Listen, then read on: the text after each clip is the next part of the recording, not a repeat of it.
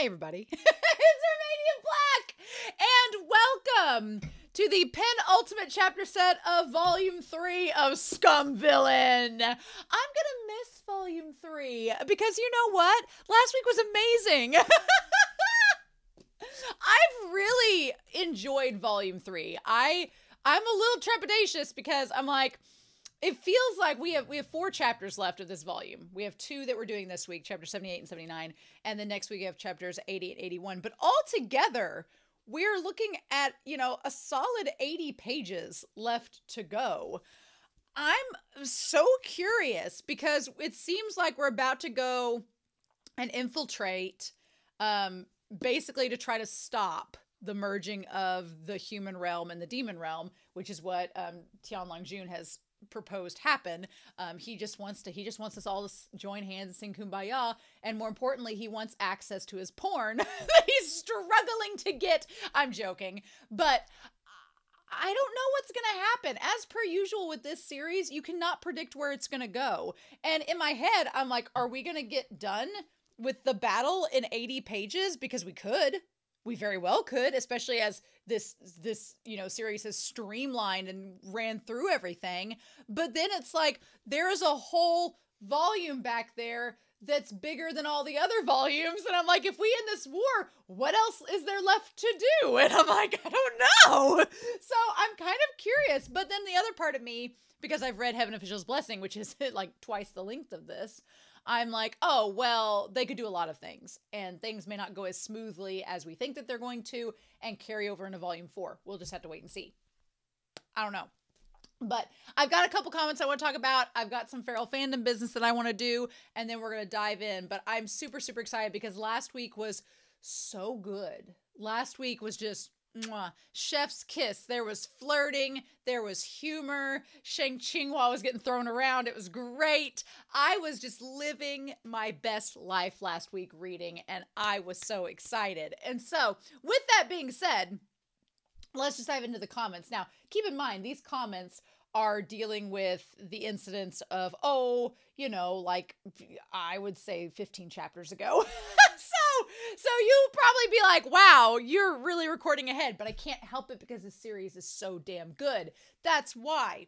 So, um, Sky Azure Eclipse 1496 and I'm going to read a lot of these ver- verbatim. I have them pulled up on my screen here. Says something that really got me in these past few chapters is that Shin Ching Cho's point of view. He stops referring to Lo Binghe as just the protagonist and instead calls him this child a few times with a lot more familiarity it's subtle, but I think it says a lot about how he's now seeing Binghe with more sympathy and attachment than he wants to outwardly admit. And I I'll be honest, I I didn't notice the subtle change of the protagonist to this child. That didn't hit me until you pointed it out and I was like, "Oh, it is. Yeah." Of course, you know, we've seen throughout the chapters Shin Qingqiu become a little bit more outwardly like, "Oh no, it's fine." I'm, it's fine. I'm okay with this. And being less in denial and more just being like, yes, I know, I like him, stop it. And it's been so great to see, but that is a really, really cool little subtle thing that happens. Also, we've joked in the Discord that Shin Qingqiu thinks he's like 80 when he's 20, and it's like, dude. really? It's like the opposite of Steve Buscemi being like, hello, my fellow kids. It's the opposite of that, right? He thinks that that's how it is, but that's not how it is in reality. So thank you, Sky Azure Eclipse. That was a really good comment. Good to point out. Angry is panda. Angry is a panda. Um, comments. Some people don't think that he's actually this referring to Shin Qingqiu, which this comment got me. I was like, what? But I really like the way they phrase this. Some people think that Shin Ching Cho is not actually in love with Binghe, or they don't seem to understand how much he really cares about everyone around him, which is sad because I feel characters that aren't emotionally vulnerable or don't express their feelings outwardly sometimes get misunderstood in the fandom. Sure, he laughs things off and he doesn't show what he's feeling on his face, but the fact he finally breaks down crying in front of Binghe, along with how he acts when he's asleep, shows how much he really cares. Yeah, I that is something because I've been projecting myself and relating so hard to Shin Qingqiu that's so true. Like, I feel that in some ways, Shin Qingqiu is kind of, he's in interesting ways, MXTX is using him to kind of tackle this idea of masculinity. And he's been reading Proud Immortal Demon Way with the idea that oh we don't we don't cry we don't share emotions but in inside Shin Cho is a very emotional person but he doesn't outwardly want to appear vulnerable and if you if you explore like media and how they portray men especially now Shin Cho is not heterosexual but he thinks he is and so you know if you look at the way that men are portrayed or or designated by society to be portrayed regardless of their sexuality where vulnerability is considered as a weakness, then yeah, it would make sense why Shin Ching Cho's kind of be conditioned to not express that. But it's it's relevant, I think, to note that Shin Ching Cho does love Lo Bing Hei. He shows ways that he loves him, just not outwardly. He's the polar opposite of Lo Binghei, who is constantly trying to validate and get validation for his affection. He's constantly like, "Notice me, senpai. Notice me, Shizun. I love you." And Shin Ching Cho's like, but deep down inside, he does love him. It's it's you know your typical cat versus dog scenario, which I love the fan art that portrays Shin Ching Cho as a cat and Lo Binghei as a dog. It's so perfect. But I, I like the way you phrase that, angry as a panda. Thank you. And then finally, Anime Annie comments what I took from Shin Ching Cho saying that he doesn't like weak characters who hold others back or those who get taken hostage is Shin Ching Cho is no damsel in distress. And now that's furthering the idea of Shin Ching Cho being like Megara from Hercules, which we've been joking that he's like, I won't say I'm in love. but his internal rant about Lo Binghei's beauty is a perfect way to showcase Shin Ching Cho's geek side. It reminded me a lot of the ranting and raving about specific parts of various media, especially in the way that he brings airplane shooting towards the sky into it. If the author said it was so, then it's undeniably a canonical fact. Shit. And then they also noted that Scum Villain Self Saving System has so much merch potential, and yet we have barely any official merchandise, which is such a shame. I you could capitalize so much off of Scum Villain. There's so much you could do with the merch. There's so much you can do, but it's a shame. It really is. The feral fandom, I feel your struggles. But I like how Anime Annie noted that because yeah I, I, think Cho's other thing is he doesn't want to appear vulnerable because he doesn't want to appear effeminate or like a damsel in distress. He doesn't want to be feminized. He's like no i'm a man. I don't need anybody to rescue me which most women don't need anybody to rescue them either. But regardless he's like but he doesn't want to appear vulnerable because he feels like that will make him appear to be weaker. And he's like no i like this idea that Shin Ching Cho wants to stand on equal footing with Lo Binghei. Just they're in different ways on equal footing. It reminds me a lot of the other MXTX protagonists, whether it's Wei Wuxian and Lan Wangji or whether it's Xie Lian and Hua Cheng. Like they both, they all. One thing I love about the MXTX main couples is that there isn't one that's necessarily the submissive and one that's the dominant. Rather, it's these two individuals that can stand side by side and fight back to back and be equal with one another just in different ways. And I love that. I think that's great. But yeah, so as far as the feral fandom goes, I again, there's been so much fan art shared in the Discord this last month.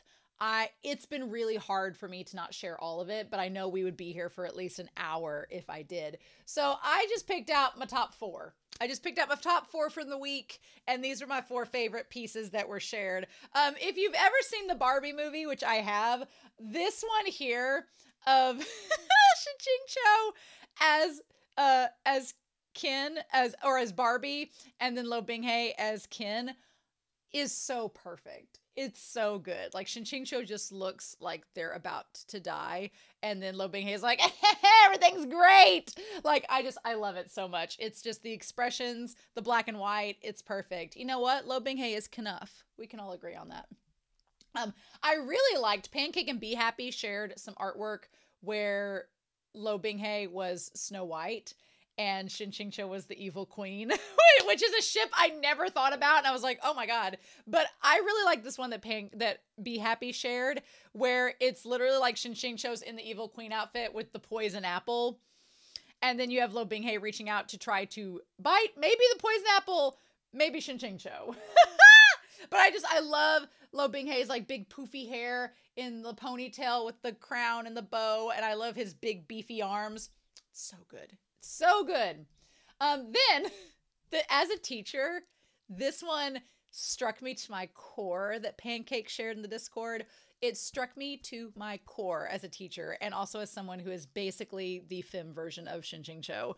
And that is where um, you see Lo Binghe at the top with his big old eyes, and he's like, Shizun spends a lot of time with the other disciples. And Shin Ching Cho's like, that's called teaching. he's like, I'm teaching them. What the fudge? It reminded me of um, there is a patron that I subscribe to. I don't have a lot of patrons that I um, am, am patronizing on Patreon, um, but one of them is the author of Takeoff, which is a, a BL series. Um, but in that series, the main character Nathan, he is a teacher, and Andrew is his student, but they're also kind of in a relationship. So it's fun. But yeah, that made that reminded me of that. But I love it so much. And then I forget who shared this one, but uh, we talked about it back in the chapters.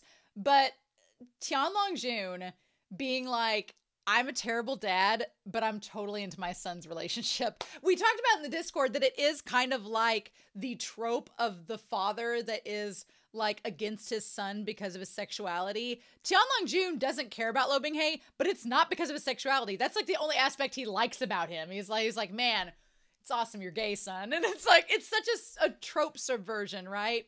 So this piece of art says, my son kind of sucks but the gay porn about him slaps though. and I love that he's holding like Rasputin from Anastasia, like holding his arm that's detached in the air.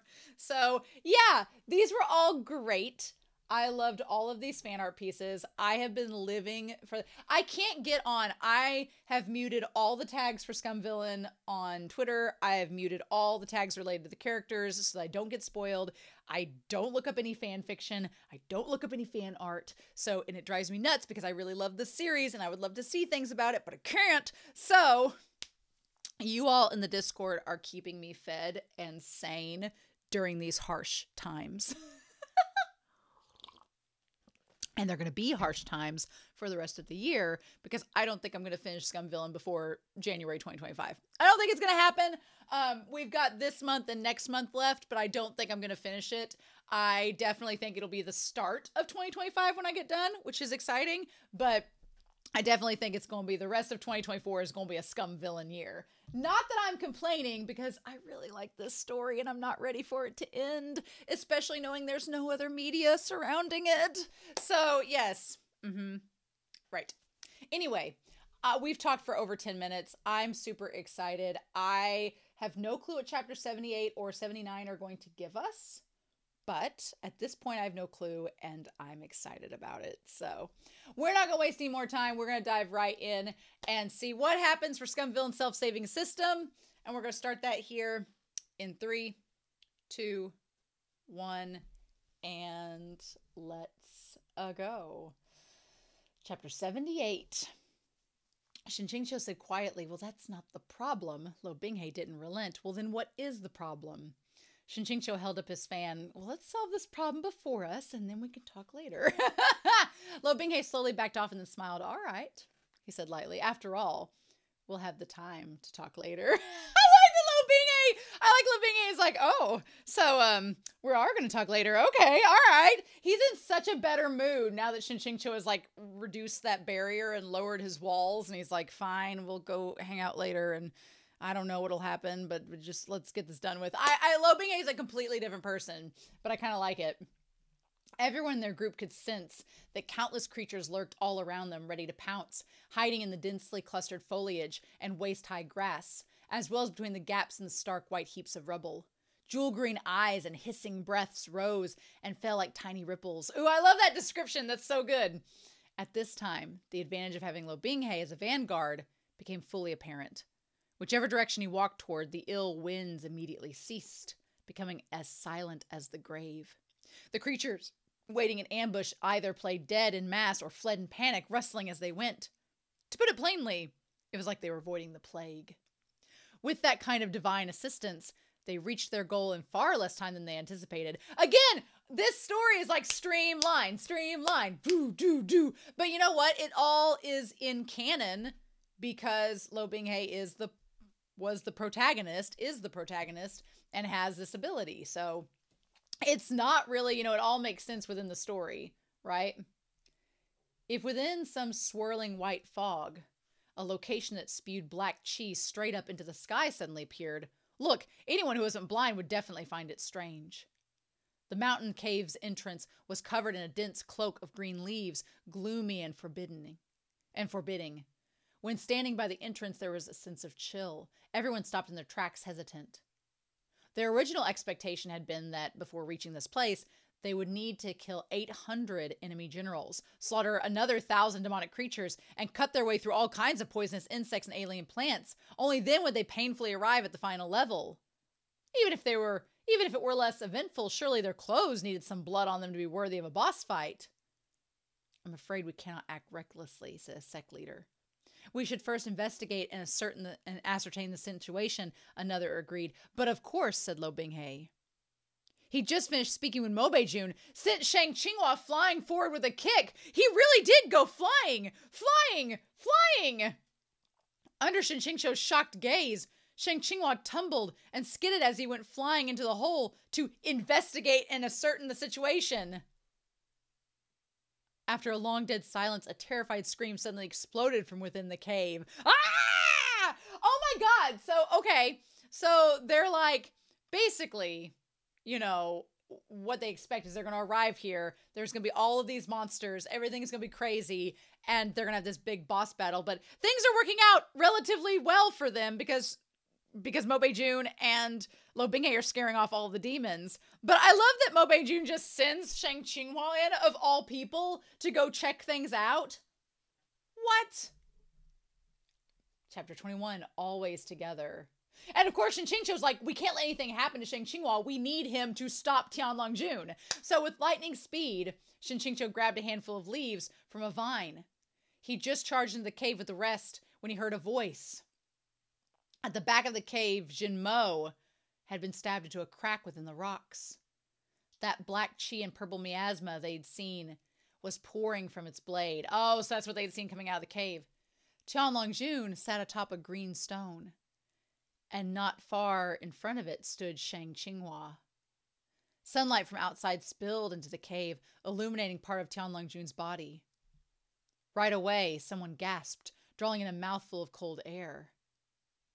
Shen Qingqiu finally understood why Shang Qinghua had screamed so terribly seconds ago. Though the smile on Tianlong Jun's face was as elegant as ever, the right half of his face was nearly entirely the dark purple of necrosis, making his smile tremendously unnerving. His left sleeve hung limp, completely empty. It seemed that the arm that kept falling off could no longer be reattached.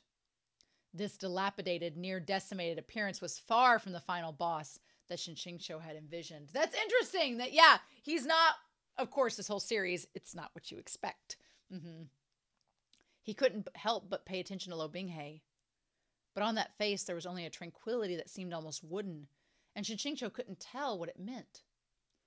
Tianlong Jun tilted his head. Less people than I would have thought. I expected it to be like that time on Bailu Mountain, with hundreds of masters all coming at me together. Wu Wang humped. Well, look at that ghastly appearance of yours. Not to mention you're without even a single underling. Who would need that many people? So we meet again, Peak Lord Shen. I have, I indeed have not a single underling, but I do have a nephew. The words had barely left Tianlong Jun's mouth when a green shadow flashed through the cave. Zhu Long silently placed himself in front of Tianlong Jun, shielding him. For some reason, this master and servant both gave off an air of wretchedness. Being unsuited to demonic energy, Tianlong Jun's dew mushroom body had deteriorated to the point of falling apart. That was understandable. However, Zhu Long's eyes, too, had yellowed, and his neck, cheeks, forehead, arms, just about any part of him that was exposed, now crawled with scales. The result was sinister and frightening, as well as deeply reminiscent of his half man, half snake form back in the cave of Bailu Forest. Peak Lord Shen, he rasped. Yes, it's me. How did you end up like this? And what connections do you have with this person this time, Shidi? Yu Qingyan asked, composed as ever. Oh my god! Deep connections. The situation only progressed to its current state with the heavy involvement of said person. Shen Qingqiu wanted to say something when Tianlong Jun raised his chin, squinting at Yu Qingyan. I remember you. After thinking a bit, he said with conviction, Back then, the Huanhua Palace's old geezer wanted you to help him with the ambush, but you ignored him. So you're the current sect leader of Cang Qiong Mountain. Not bad. Your distinguished self's memory is also quite good. Tian Jun smiled and smiled, then gave a sigh. If you were also trapped in a pitch black darkness for over 10 years, unable to glimpse the sky or sun, with nothing to pass the days but reminiscing over past affairs, your memory would be quite good as well. This time, no one answered him. Yu Qingyang gripped Shanzu then struck at Tianlongjun with the sheathed sword. Tianlongjun barely managed to evade. With a rumbling roar, half of the cave wall behind him collapsed right there and then, opening up a large hole. Outside there was nothing but sky, while swirling sand and loose rocks plummeted into the depths below. Cold air streamed into the cave, as fine as snowflakes drifted in a snow dance, dazzling the eyes. Oh, I love this! Why can't we have this animated? From the frozen river 300 meters below, one could faintly hear wave after wave of beastly howls and the sounds of slaughter. The first wave of southern border demons had already landed. Let me guess. Bai Zhan Peak is again fighting as the vanguard, am I correct? Tianlongjun asked. The dozens of people on the scene dispersed, then rushed him from various angles. At the front of the assault, Wu Wang swung his staff with fierce vigor, his moments, vi- his moments and movements vicious. Though Shanzu slowly forced Zhu back, he still dutifully drew the brunt of the attacks. Tianlongjun continued to sit upon his stone completely at ease. I remember that you also waited until the last moment to draw your sword that day, he said to Yu Qingyang, doing the same now. Yu Qingyang didn't answer. He was about to land a palm strike on Zhu when another sect leader stole in front of him and attacked first. Zhu neither avoided nor retreated, taking the blow head on but it was the sect leader who screamed instead. Shin Qingqiu's pupils contracted. Don't touch him, he yelled. His entire body is poisonous. In the chaos of battle, several people were poisoned, while several others were sent flying out of the cave by explosive surges of demonic chi and spiritual energy. They careened out into the high altitudes, plummeting downward before they managed to flip themselves back onto their swords, thereby regaining their foot their footing. Shang Qinghua stealthily snuck towards Shinqingqiu's location. Zhu Xilong was overwhelmed by the excitement of battle, so when he glimpsed a suspicious figure creeping away, he flung two green snakes at them without thinking. Shinqingqiu saw all this clearly. He flipped his hand over, ready to send out a leaf to save Great Master Airplane's life. When the two snakes were suddenly pierced in midair by a razor sharp shard of ice. What's Mobei-jun saving him for? Mobei-jun appeared within the circle like a wraith. He picked up Shang Qinghua, tossing him in Xingqiu's direction, and like one would a little chick, and then pummeled Zhu Xilong with his fists. In the ensuing 10 seconds, Shin Qingqiu witnessed what a real beatdown looked like. With Zhu Xilong under Mobei-jun's craze and relentless assaults, the attacks besieging Tianlong Jun grew suddenly fiercer. Though Tianlong Jun was missing an arm and was only one against many, his poise wasn't at all diminished. Why must you be like this again? Ganging up on one person. Don't you think that the victory won by unequal advantage is immoral? A sect leader attacked him. Against a malicious and demonic monster like you, who wishes to see the world burn? What morals are you speaking of? In the next moment, that sect leader's skull split open like a garlic clove, rent into multiple chunks. Tianlong Jun pulled his hand back and smiled honestly. In the beginning, I had no malice nor did I find fun in the idea of the world burning. I only occasionally crossed the border, coming here to sing songs or read books. It was quite nice. However, since I've already been in residence beneath Bailu Mountain for so many years, if I don't follow through on something along the lines of your thoughts, I truly find my circumstances a bit unjustified.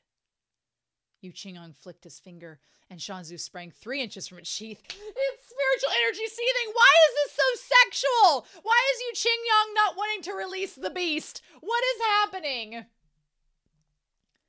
The bones of Tianlongjun's body cracked and popped almost like his joints had been dislocated. He made a sound of surprise. As expected of a sect leader, not bad. Your master was quite mediocre, but had quite the eye for disciples and successors. Then Tianlong Jun reached out and grabbed Shan Su's blade directly, as if he couldn't feel a thing. But why not draw it out all the way? He said with a smile. You can't do anything to me with only this much. This is so sexual!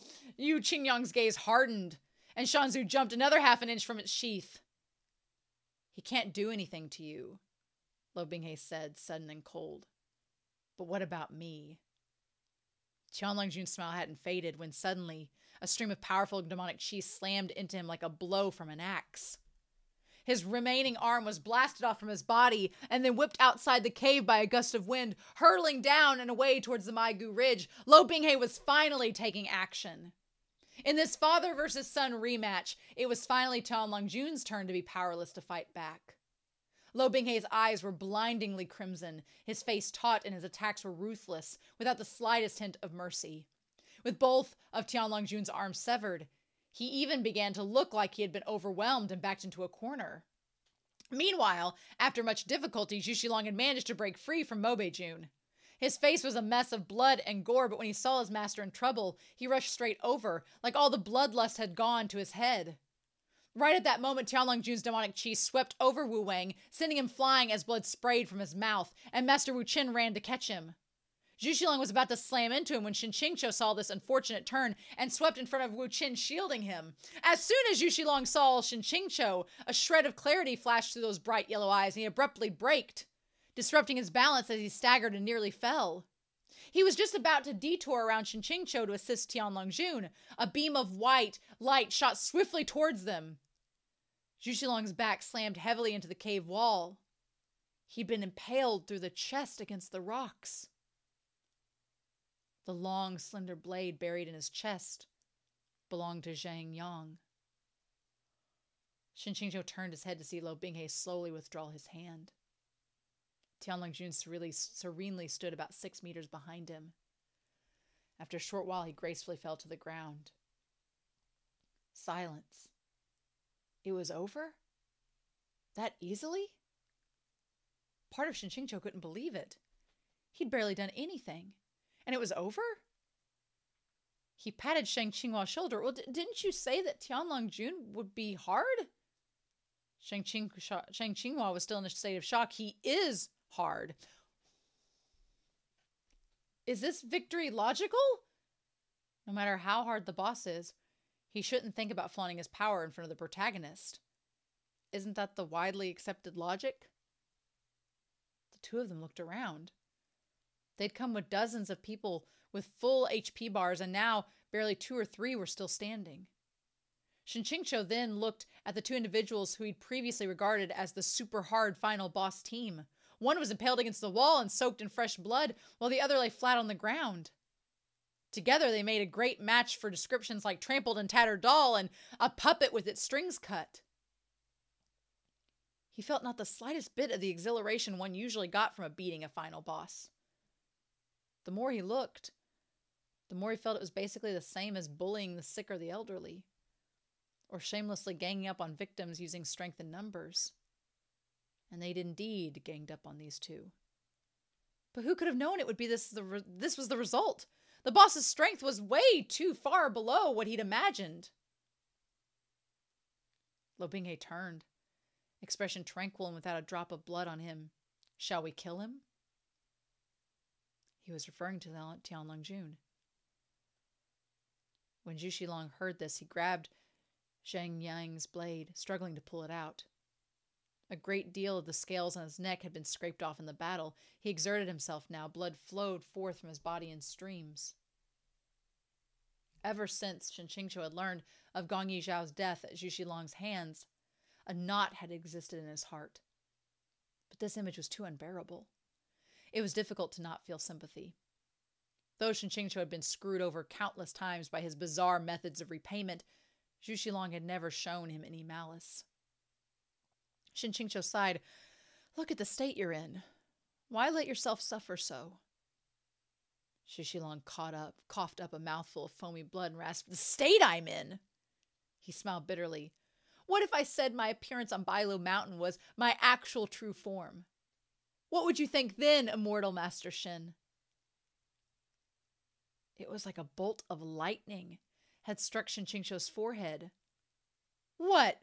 So the slithering snake man from Bailu Forest was Zhu Xilong's original form? Zhu Xilong gasped for breath. My bloodline is lowly. All because my father was a simple minded giant snake. I had this half man, half snake appearance from the moment my mother gave birth to me.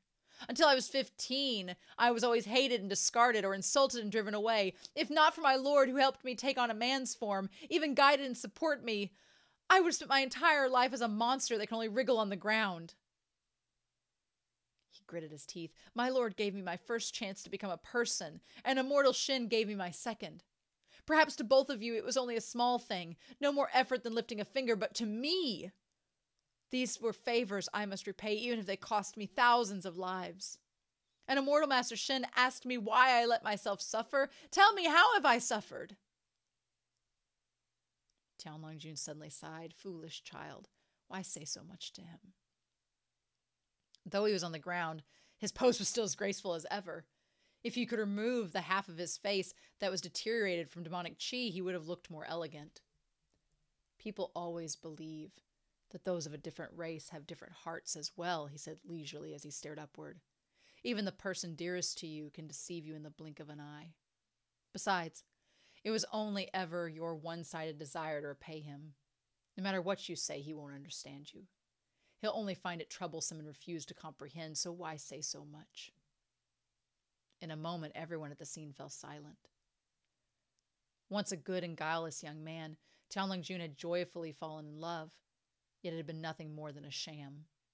Then for countless days and nights he'd been sealed beneath a high mountain where there was neither sun nor sky. Who had the right to stop him from resenting them? Who had the right to make him let it go and look on the bright side?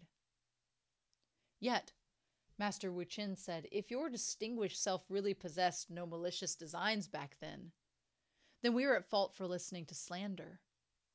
If so, this calamity today was something we could neither run from nor avoid. Those who sow seeds of evil will reap the rewards, for all will eventually come around. He brought his palms together. But even if it meant ingesting poison, Benefactor Su wanted to see you. So how can you condemn her for deceiving you? Tian Jun startled a little, and then raised his head. Shen Qingqiu was also stunned. He knew Master Wu Chen would never lie, yet the version of the story he told next was completely different from what others had known to be true. Back at Zhao Hua Monastery, said Master Wu Chen, because this one didn't wish to subject Benefactor Su to criticism when she'd already passed, and because this one promised to keep it secret, he was unable to speak the truth. The old palace master brought Benefactor Su back to Huanhua Palace by force. She absolutely refused to obey orders, refused to trick you into going to the site of ambush where several dozen arrays had been set in advance. The old palace master only discovered she was pregnant when subjecting her to torture within the water prison. Forcibly aborting the fetus would have endangered her life, and on top of that, Benefactor Su was resisting with all her might. So the old palace master gave her a bowl of poison, that poison fatal to the demon race. He told her that as long as she was willing to drink, he'd let her out to see you. Benefactor Su drank what the old palace master gave her and then left the palace alone, but she didn't realize the change takes but an instant. The situation was already other than what she thought. The old palace master had switched the site of the attack to Bailu Mountain, where the two of you had met in the past. Tian Jun was completely stunned. His body was mangled, and blood still stained the corner of his mouth. Despite this, he struggled to raise his head, like he wanted to hear more clearly. There was an indiscernible pity, pitifulness to him. This one met Benefactor Su on the road to Bailu Mountain. At the time, it hadn't been long since she drank the poison. She was covered in blood and it dripped with every step she took. This one listened to the few lines she'd gasped out and guessed the general situation. Unable to bear deceiving her, he told her that several days before Tianlong Jun had already been sealed for all eternity. Only then did she realize that her master had told her a monstrous lie. Not only the location, but even the time had been false, all for the sake of making her drink the poison. In accordance with her pleas, this one helped her avoid the Huanhua Palace disciples who'd come to capture her, and then escorted her to Low River's upper reaches. After that, he never saw any trace of her again. Tianlong Jun, Benefactor Su might indeed have not been a wholly good person. Originally, she stood high as the next Huanhua Palace Master with great expectations upon her. The comparisons to Lo Binghe, oh my god! In the beginning, her decision to approach you might not have been made with good intentions. But afterward, which is it? Did you maliciously bewitch her? Did she set you up and deceive you? Or were both of you simply unable to help your feelings? He's actually both of them. Lo Binghe is both of them, but we'll, we'll talk about that in discussion. This one is an outsider, so he can know nothing of your heart. But what he does know and what he did see was Benefactor Su refusing to listen to the orders of the master who'd raised her for over a decade. Even when tormented in the water prison, she refused to say anything, refuses to trick or harm you. If not as a last resort, what mother in this world would drink that kind of poison? It wasn't that she didn't care about you, but she was without alternative. Yet the world is pitiless, and so you passed each other by. Tianlong Jun's lips seemed to tremble slightly. A moment passed. Then he said, Is that so? Right after those three words, he asked again, Truly? This one swears upon his life that his words contain not a single falsehood, said Master Wu Chen. Tianlong Jun turned his head to look at Shen Qingqiu and Yu Qingyang. As if seeking confirmation, he asked, Truly? He didn't even care whether someone was in the know. He was just asking anyone he could. Unable to say anything, Yu Qingyang silently lowered his head. It was unclear what he thought. Shen Qingqiu deliberated over further and then finally gave a slow nod. Perhaps the old palace master originally had no intention of vilifying and harming Tian Tianlong Jun, but as he watched his disciple grow closer and closer to him, he must have regretted sending Su Xiyan to, to approach the demon. He allowed her to leave his control and fall in mutual love with Tianlong Jun, even conceiving Lo Binghe. So the old pas- palace master made up his mind. He distorted the truth and cherry picked the details. He, his orchestrations transformed Tianlong Jun into a matchless fiend who wanted to overturn the three realms. And so, he'd brought ruin to so many lives and so many years. The smattering of snowflakes on Tianlong Jun's eyelashes trembled with their movement. And then, like all his strength had suddenly left him, he lay down once more and he sighed, All right. In any case, finally something less terrible unfolds. Shen Qingqiu turned his head to look at Lo Binghe. He'd listened from beginning to end, but it was like he'd heard nothing at all. Like none of this had concerned him. He even let out a light laugh. With this truth out in the open, the knot within Tianlong Jun's heart had naturally come undone, but to Lo Binghe, the cruelty of the situation hadn't lessened in the least. Regardless of whether it was because his parents hated him or because they had given up on him, in the end, he'd been thrown away. Black smoke and purple miasma continued to spew from Xin Mo without pause, and the sounds of slaughter from below grew clearer and clearer. Ridge's descent was still ongoing. Just how much distance remained before they reached Lo Bang's Low, Low River's frozen surface? Yu Qingyang took several steps towards where Majinmo was embedded in the wall. The situation has thus far unraveled, Shen Qingqiu said. Bring an end to this, Tianlongjun. If Tianlongjun stopped now, it wouldn't be too late. But if he continued to supply Xin Mo with demonic chi, then their only option to prevent the merge would be to kill him. Now that all was said and done, Qingqiu didn't particularly wish for Tianlong Jun to actually die. After all, to end up in this state due to falling in love was just really unfortunate. To demand his life on top of that, what kind of boss is this pitiful? Yet Tianlong Jun let out a stifled laugh. The sound echoing through the cave. Peek, look, Peak Lord Shen, he said, tilting his head like he'd found something incredibly funny. As I am, I can't even maintain Zhu Xilong's human form anymore. At that moment, Shen Qingqiu didn't yet realize the meaning within Tianlong Jun's words. He only felt something lurch within his heart. Having fought with you all for so long, the toll on this body of mine was no small matter, said Tianlong Jun slow and measured. Who do you think has been sustaining Xin Mo and supplying it with demonic chi all this time?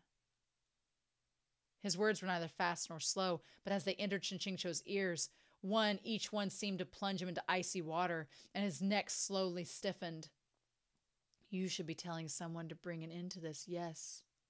Only that person isn't me. Oh my gosh! Tianlong Jun's arms were broken beyond repair, and Zhu Xilong was impaled against the stone wall. Master Wu Chen was supporting Wu Wang, who had his whose head bled profusely. Mobei-jun had Shang Qinghua dangling in his hold, and Yu Qingyang stood beside Shen Qingqiu. Only Lo Binghe stood directly opposite of Xin Mo's position, his head lowered as he leisurely adjusted his sleeves. Lo Binghe, come here, Shen Qingqiu said solemnly. Lo Binghe shook his head once, only once, but very resolutely. You lied to me again, Shen Qingqiu said, dismayed. Lo Binghe's movements paused and he asked, Shizun, I said I would help you against Tianlong Jun. I can kill him for you right now and right away, so how can you say I lied to you? Tianlong Jun smiled, letting the enemy go to cover for, one own, for one's own work. That was quite a good move, but unfortunately I'm not very useful, so in the end he had to take action upon himself. Upon hearing the words, letting the enemy go to cover for one's own work, Shen Qingqiu's heart became increasingly uneasy. Did Lo Binghe purposefully give Xin Mo to Tianlong Jun? After all, Tianlong Jun's dew mushroom, dew mushroom body had deteriorated faster within Xin Mo in his possession. So even if the sword was given to him, it couldn't have posed much of a threat to Lo Binghe. Perhaps Shen Qingqiu was too disoriented and allowed his thoughts to show on his face because Lo Binghe said sorrowfully, Shizun, what are you thinking now? He did steal Xin Mo. It's just that Xin Mo still recognizes me as its master. You said before that you would rather trust me and accept the consequences than not assume you can't trust me at all. Why do you again not trust me? I've trusted you many times, Shen Qingqiu said slowly. Up until now, I still trusted you. Is that so? said Lo Binghe.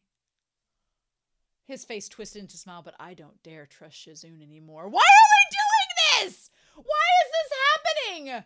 Why? That smile was incredibly uncanny. Shen Qingqiu sensed something was wrong, so he softened his expression and tone. What has gotten into you this time? The moment he softened, Lo Binghe suddenly stopped smiling. His appearance was full of sorrow and despair. Shizun, I've said this before. The times you're with them are really when you're happiest. To begin with, Shen Qingqiu had yet to figure out who the them referred to. Lo Binghe paced slowly back and forth before the stone wall where Xin Mo was embedded, and he laughed in self mockery. Every time I asked Shizun to leave with me, you never agreed, not even once. Oh my god, are we really doing this? When you did come, it was because I demanded it by force, not because you came willingly. But when they ask you to stay, you never hesitate. He looked at Shen Qingqiu. Shizun, you don't smile often. I love seeing you smile. But whenever I recall that you only smile like that when you're with them, it. He said very, very quietly, it hurts me very, very much. Are you fucking kidding me? I, you brat! I thought we. Why are you being ridiculous? Why are you being a child, Lo Bing Binghe? You're being stupid. Shen Qingqiu finally understood. Them referred to Cang Qiong Mountain. That day in the bamboo house, Liu Qingge had suddenly opened the windows to investigate, so it really had been that he'd sensed the hint of murderous intent Lo Binghe had let while loitering around outside, as well as the aura of rage and despair. Instead of leaving, he'd stayed to hear the laughter within the bamboo house, as well as that single mmm of agreement that he'd engraved all of it within his heart. That's why you're angry? said Shen Qingqiu. Angry. Lo Binghe spat darkly two words out. I hate. Then I hate myself. He paced quickly with his irritation, his hands clasped behind his back. I hate how I'm useless. I hate how I can never keep anyone. How no one, no one has ever chosen me. Everyone in the cave was unable to make any sudden moves. Lo Binghe was currently maintaining Xin Mo's energy supply, and nobody wanted him to suddenly lash out. By doing this, you mean to force him to choose between the two? Zhu Xilong asked. Zhu Xilong realizes how ridiculous this is. Lo Binghe paused and shook his head. Choose between the two? No, that's not it. I know that if he chooses, Shizun definitely won't pick me. Oh my god, no. Lo Binghe! Quit bitching! so it's fine if he has no choice to make. A slight flush infused his stark white face, derived from a kind of strange excitement.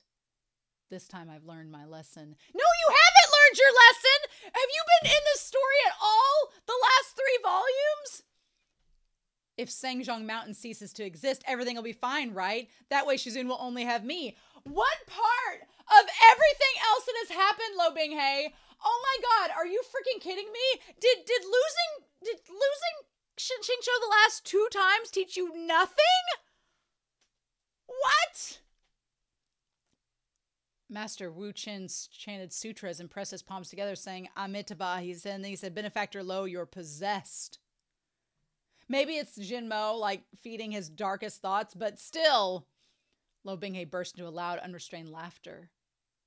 If you leave him no choice, then of course you can't be abandoned, Master Wu Chen continued. But how will you deal with Lord Pixin's actions and behavior towards you afterwards? Shizun, if Qing Jing Peak is gone, I can build you another.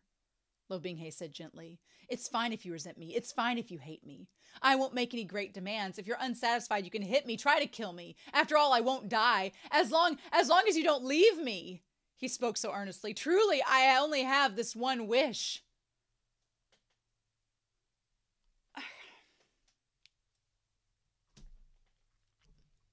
Lo Binghe's smile was twisted, his pupils dilated, the blood red irises rimming, then periodically expanding and contracting.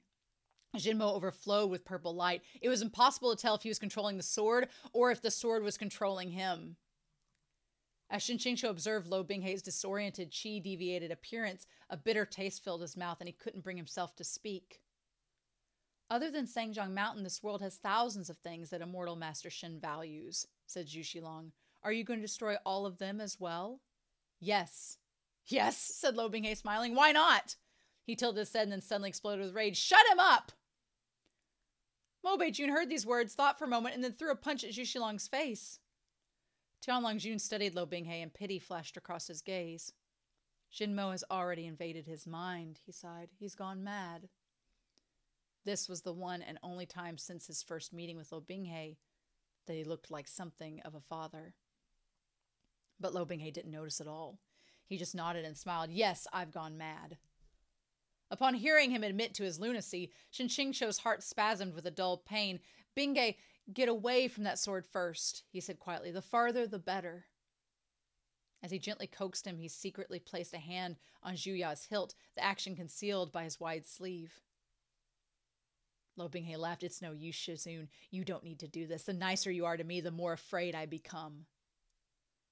As he spoke, his right hand made a slight gesture upward. In an instant, Xin Mo's purple chi overflowed.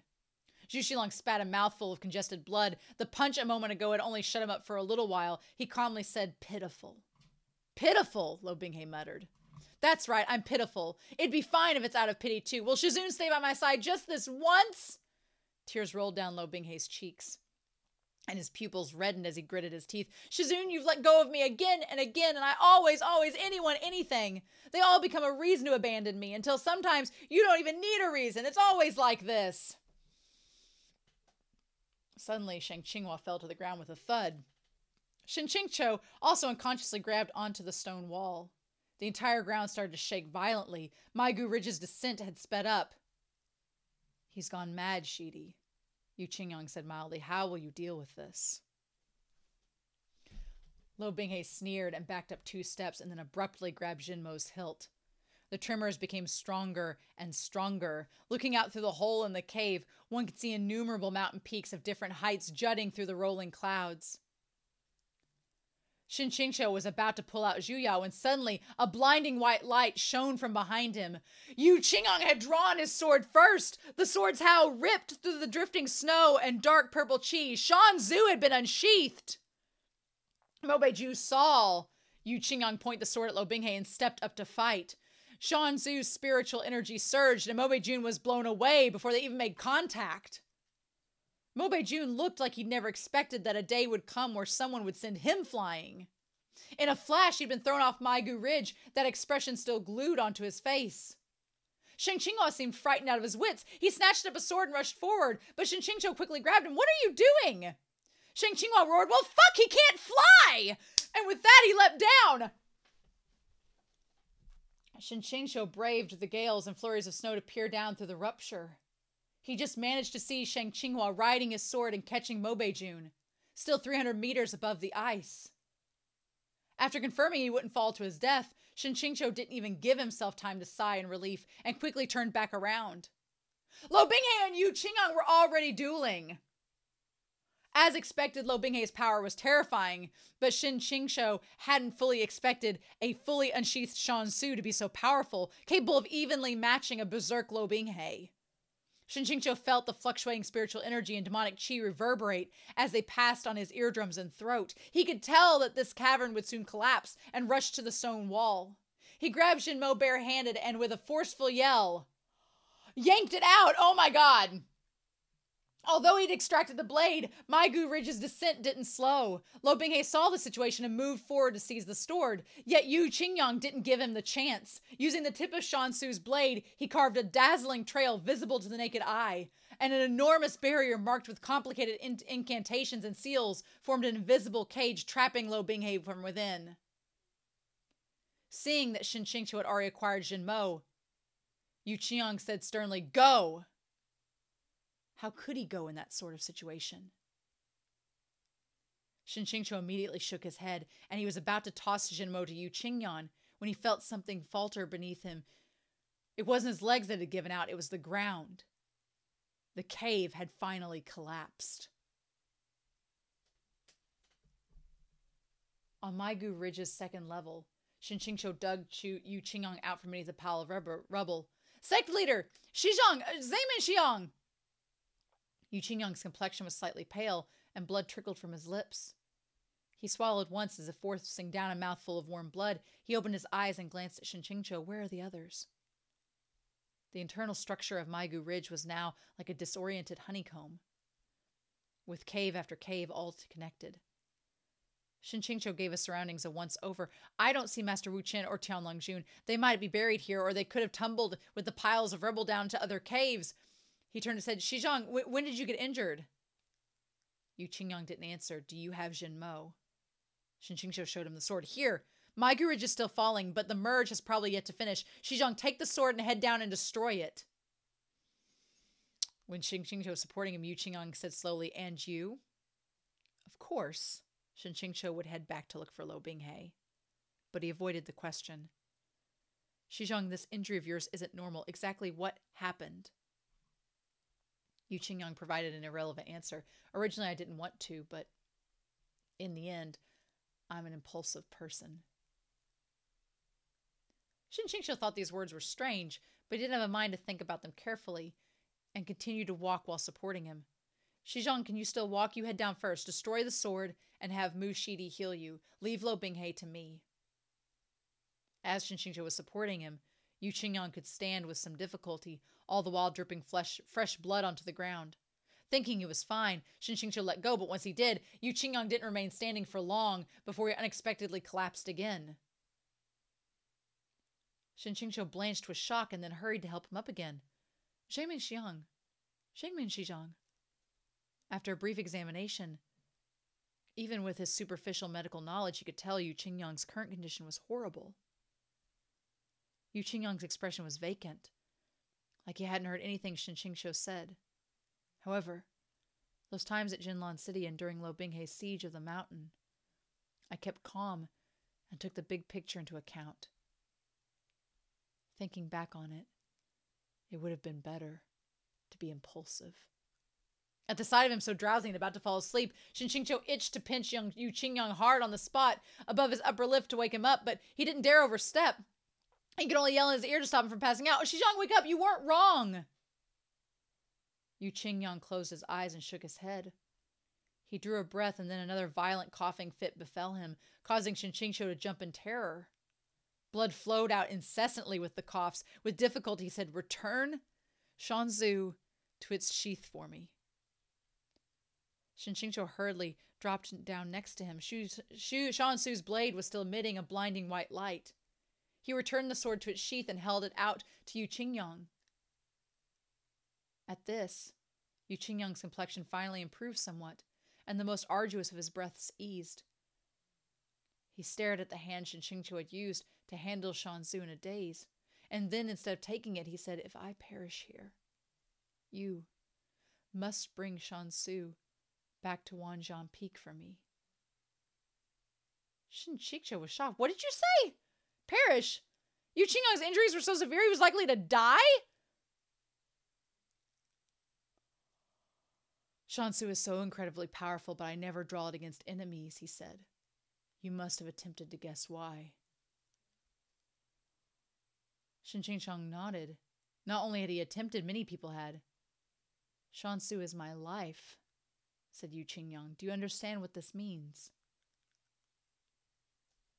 Shen Qingqiu absolutely didn't, but he knew that definitely wasn't just a figure of speech for loving your sword more than your own life. He also knew that what Yu Qingyang's next words would be would be without a doubt a secret that he'd never told anyone before. Sure enough, Yu Qingyang said, Every time I draw Shansu, it consumes my life force.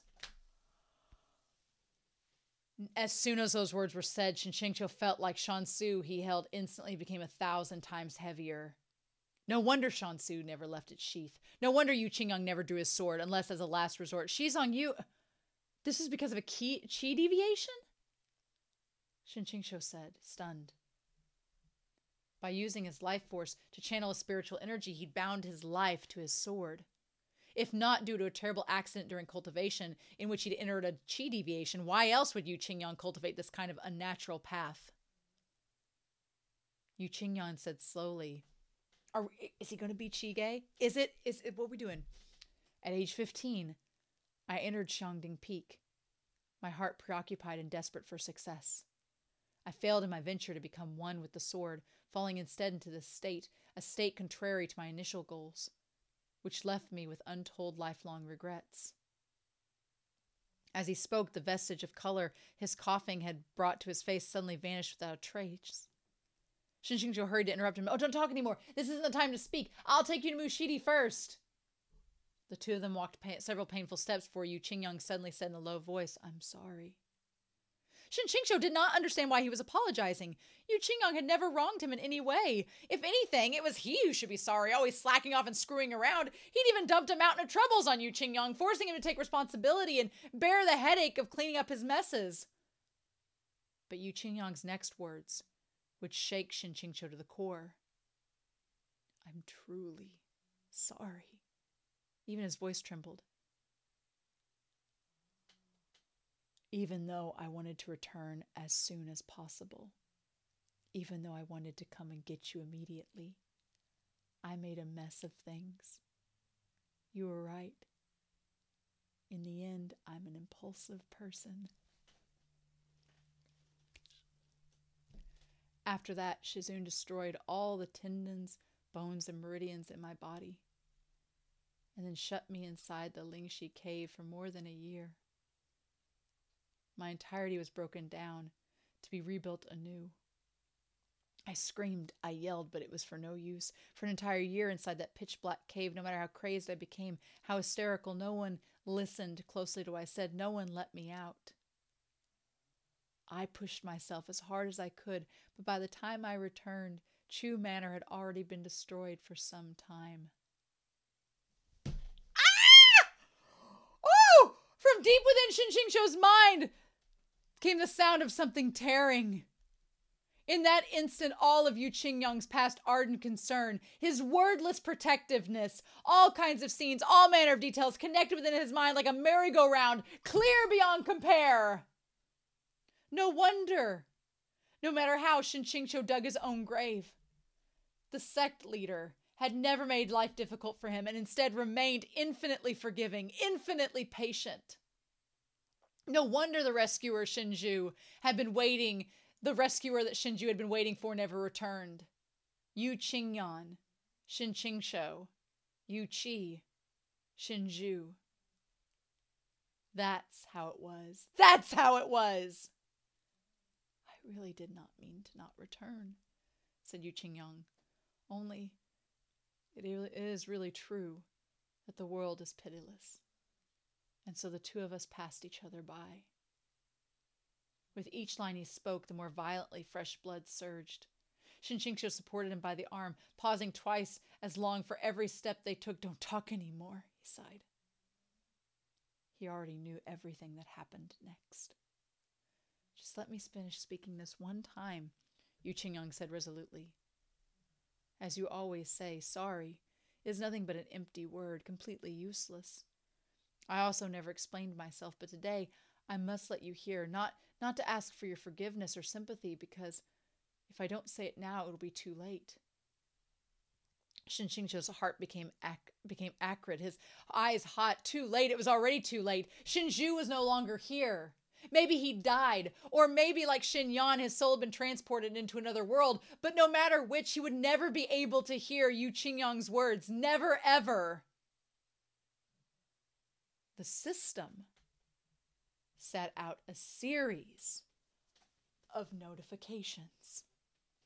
Hidden Character 1, Zhuxi Long, completion rate 100%. Hidden Character 2, Tianlong Jun, completion rate 100%. Hidden Character 3, Su Xiyan, completion rate 100%. Plot hole filling target number 1, Shen Qingqiu, completion rate 100%. Plot hole filling target number 2, Yu Qingyang, completion rate 100% met basic criteria for character completion. The system scan found no obvious logical gaps. B points per achievement plus 300. Total sum 1500. Congratulations! By upgrading rather a lot of things to roast, you have unlocked the achievement readable if nothing else is available. Satisfaction points at zero. In this situation, you can substitute B points when paying for drop cost of key items. Do you accept?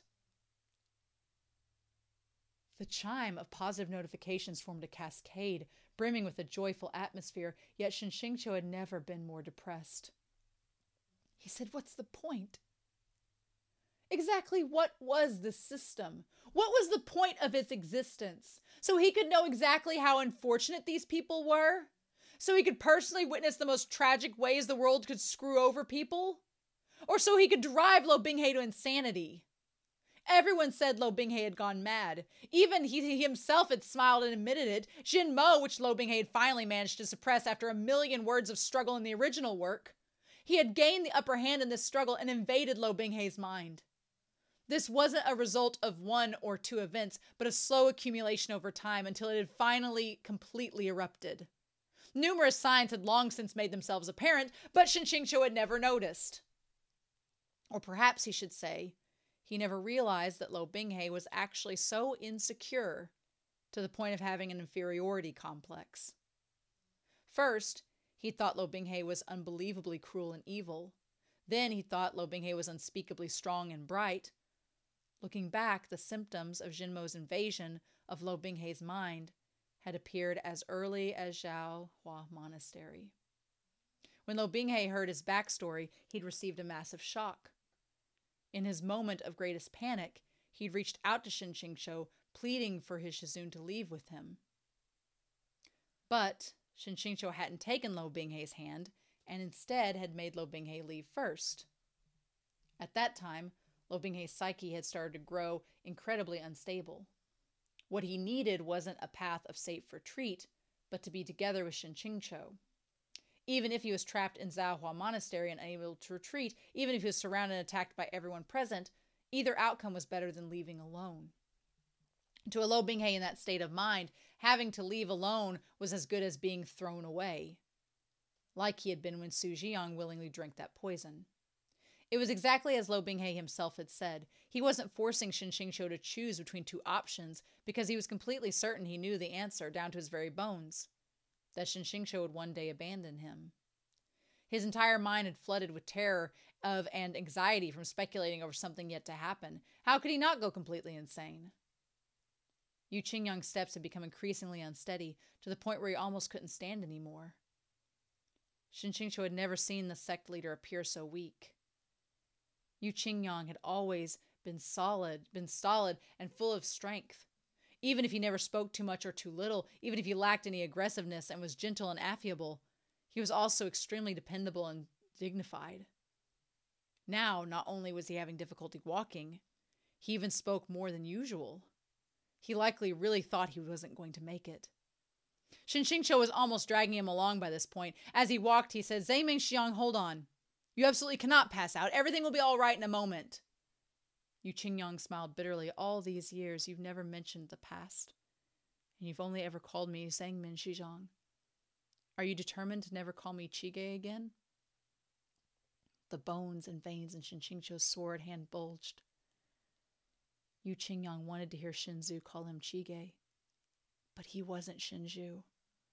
He dredged up the original flavor's cold and hateful enemy, energy and then adamantly refused, I won't. He could not raise the flag. In drama and novels, whenever a character achieved their final wish and finished speaking their last words, they immediately kicked the bucket, their desire satisfied. I didn't hear anything you just said, Shen Qingqiu said harshly. Hold on, keep going. Yu Qingyang closed his eyes and sighed. Xiao Jiu, don't call me that.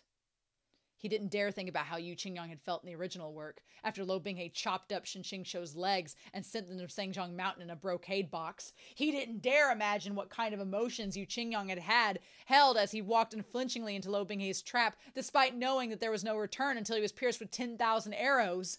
To think that a lifetime single moment of loyalty had actually to be repaid with so much.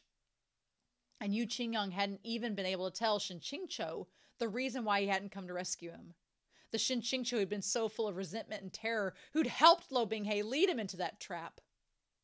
Why hadn't he told him earlier? It was just like Shen Qingqiu and Lo Bing Binghe. Why hadn't he told him earlier? If he hadn't been so cavalier, so full of conjecture, Lo Bing Binghe might never have darkened. He could have remained the sweet and bashful disciple he'd been on Qing Jing Peak. Even if they backed up 10,000 steps, back to when he'd forced to sh- back when he'd been forced to shove Lo Binghe into the endless abyss, Shen Qingqiu could have used a completely different method to achieve his goal. He might not have even needed to think about it. Only now did Shen Qingqiu understand that if he wanted Lo Binghe to go down into the abyss, it was very possible that if he had just but said the word, Lo Binghe would have obeyed and jumped. Shen Qingqiu had never considered this possibility. He hadn't believed that a person could be so foolish that Lo Binghe could be so obedient. But the truth was that Lo Binghe really was that foolish and obedient. Shen Qingqiu had twisted and turned, taken all sorts of detours. He'd taken the far road and become utterly lost, not knowing how to proceed, full of regret and sorrows, and he could only sigh, if only I had known. But in this world, there was no if only I had known. As they turned down past the cavern, Shen Qingqiu suddenly saw two figures caked in dirt. As soon as he made out the two round and shiny bald heads, he blurted out, Master Wu Chen, Master Wu Wang. The short monk who was carrying someone much taller than himself was Master Wu Chen. One of the wooden prosthetic legs was missing. Walking alone on a single leg was already difficult, and on top of that, he had no hands to spare for a palms together greeting. Refusing to be discourteous, he chose to recite some extra sutras instead. Ah, Mitaba, Peak Lord Shen, we finally found you. What happened to sect leader Yu?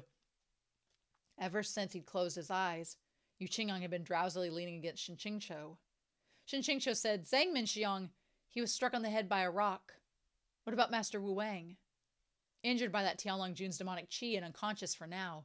With the caves collapsed, those demons completely disappeared. Shen Qingqiu pulled out Xiu Ya and handed it over. Master, can I ask you to take my Zhizhong and Master Wu Wang and leave my Gu Ridge by sword? What about Peak Lord Shen? asked Wu Chen. I will deal with my own disciple. Shen Qingqiu said concisely. If Peak Lord Shen is willing to calmly face him, there could be nothing better. Wu Chen said respectfully, he knows what's up. I'm ashamed of myself, said Shen Qingqiu. But I wish to resolve these affairs before something irreparable occurs. I leave Zhang Man Shizhong to Master Wu Chen. After you head down, please take him to, Shai, to Qian Cao Peak's Mu-shidi. This Shin is deeply grateful. Wu Chen put down Wu Wang and received Xiu Ya with both hands. He, he bowed and then suddenly said, Inner demons arise due to obsession, which means the name of Lo Binghe's sword itself. Shen Qingqiu startled. Is Master trying to say that to eliminate his inner demons, we must cure his obsession? Oh my god! Oh my god! Oh! Oh! Oh, well, shit. Oh, my God. Huh. I. I'm gonna need to go back through this, calm myself down, and then come back with y'all, and we need to talk about this. How do we go from having an amazing, fun little flirtatious romp last chapter set that I was like, oh, look at this, to being like, are you ready to have your heart ripped out?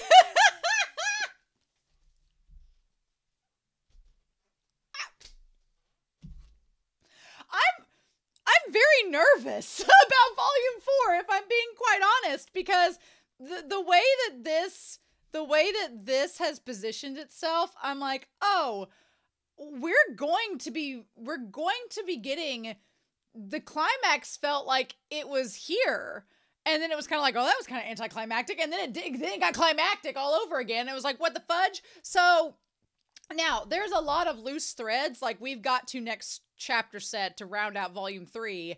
We've got to go back to it's just being Shen Qingqiu and Lo Bing Binghe, which is really funny because we bookended. Remember, remember back at the start of this volume when Shen Qingqiu was under house arrest? remember back at the start of that volume when Lo Bing Binghe was like, "You're not allowed to leave the West Wing," and Shen Qingqiu was like, "Fuck you, I'm going." and so now, and now it's the polar opposite where Lo Bing Binghe is stuck in the cave and Shen Qingqiu is like, "Well, I'm gonna go find him and and sort this out and finally face things." But we're gonna talk about that, okay? We're gonna talk about all this and if if there gets to be Lo Binghe apologists, then there gets to be Shen Qingqiu apologists as well. And I'm going to defend my my green peacock for parts of this. I'm going to defend him in in lists because I think Lo Binghe, I'm like, are you freaking kidding me? But I get it. We're we're going to talk about it. It's going to be a long discussion probably about this chapter set, but whatever.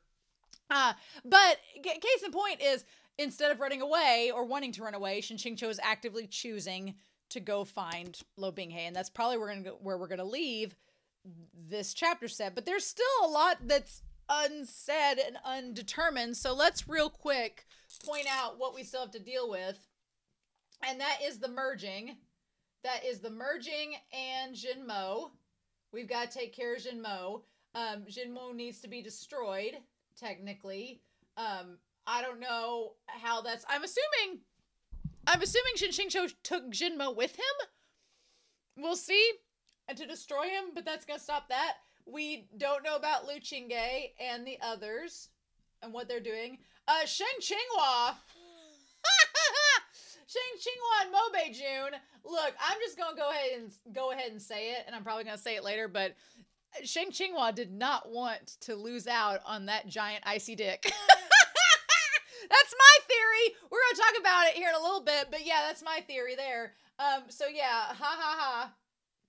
But there's that, and then um, otherwise, it's mainly Lo Binghe, and then the fact of if Chu Ying, uh, Chu, uh, if you get my names all wrong here, if Yu Qingyang is going to live or not, and then the aftermath of all of this, right? And then the aftermath, which uh, remember a few weeks ago? Remember a few weeks ago when I was like, I think that it's like 98% chance that it's Liu Qingge. I think it's like a 2% chance that it's Yu Qingyang. and then MXTX was like, gotcha, bitch. And I'm like, ah, yes. So, all right, fair game. We're going to talk about it in this, but oh my God. So, yeah, so there's a lot, basically, there's a lot of loose threads that still need to get wrapped up. It feels like we're at the climax because the system seems to recognize it as such. Um, so sure, if we wrap up, if Lo Binghe gets rescued next chapter set from the cave, and him and Shen Qingqiu finally freaking talk, finally have the chance to communicate. They keep getting denied the chance to communicate this whole time, but if they finally get the chance to communicate, that'd be great. And then they do that next chapter set. We're done with volume three. Well, hell, there's like 400 pages back there. I don't feel like this is going to be Return of the King. where there's like five different endings. So I'm like, is that is that all going to be just epilogue? Which usually with an MXTX story, the last book is a lot of epilogue, but maybe that's it. That's not what I anticipated going into this, to be quite honest with you. I did not anticipate a lot of things going into this chapter set, which is what we got. And I was like, oh my God. So uh, there was a lot to like about this chapter set and a lot that I want to break down what MXTX is doing and and go with that. But let's first of all, Reiki has been so kind to give us the chapter titles for chapter 78 and 79. Let's look at them. Chapter 78 is called Past Faces Long Gone which definitely talking about the past, talking about uh, Su Xiyan, talking about all of this, and then former affection is lost forever, which is Yu Qingyang. He was Qi-ge. It makes sense. I I'm actually really happy with that revelation. It makes sense now because when you look back on it, every time every time Shen Qingqiu has made a choice, Yu Qingyang's been like, okay, all right, we'll go with it. Sure thing. And he's always kind of like had a close eye on Shen Qingqiu and he's been watching him really closely, but he's been there from the beginning. He was there when he first transmigrated and woke up. There was Yu Qingyang. He's always been there and supporting Shen Qingqiu. And it's almost, and he kind of establishes that it, part of it is to repay him for not being there to rescue him. But it's like, oh my God. I it all makes sense. For for a brief second, there was a part of me that was like, if he dies, I guess that leaves Shin Cho to be with Lo Binghe. Eh? But I don't want Yu Qingyang to die. I want him to live, and I want, and I'm sure Shin Cho would make the point of saying he doesn't have to die because Shin Cho makes a really good point. He's like Yu Qingyang, it believes he's avenging Shen Jiu, and Shen Yuan's like, I'm not Shen Jiu. So whatever affections you and him had towards each other, he's like, I'm not that guy. So I don't have that towards you. So sorry, those affections aren't there, but I don't want you to die because I like you. You're a nice person. And it's like, yeah. So again, I, I don't want Yu Qingyang to die. I hope they're able to save him, but I can't believe it was him. I was, it just pulled the wool over my eyes. I was for sure that it was Liu Qingge. I would have bet money on it. I would have lost money. So Good on you, MXTX, for, for beating the odds.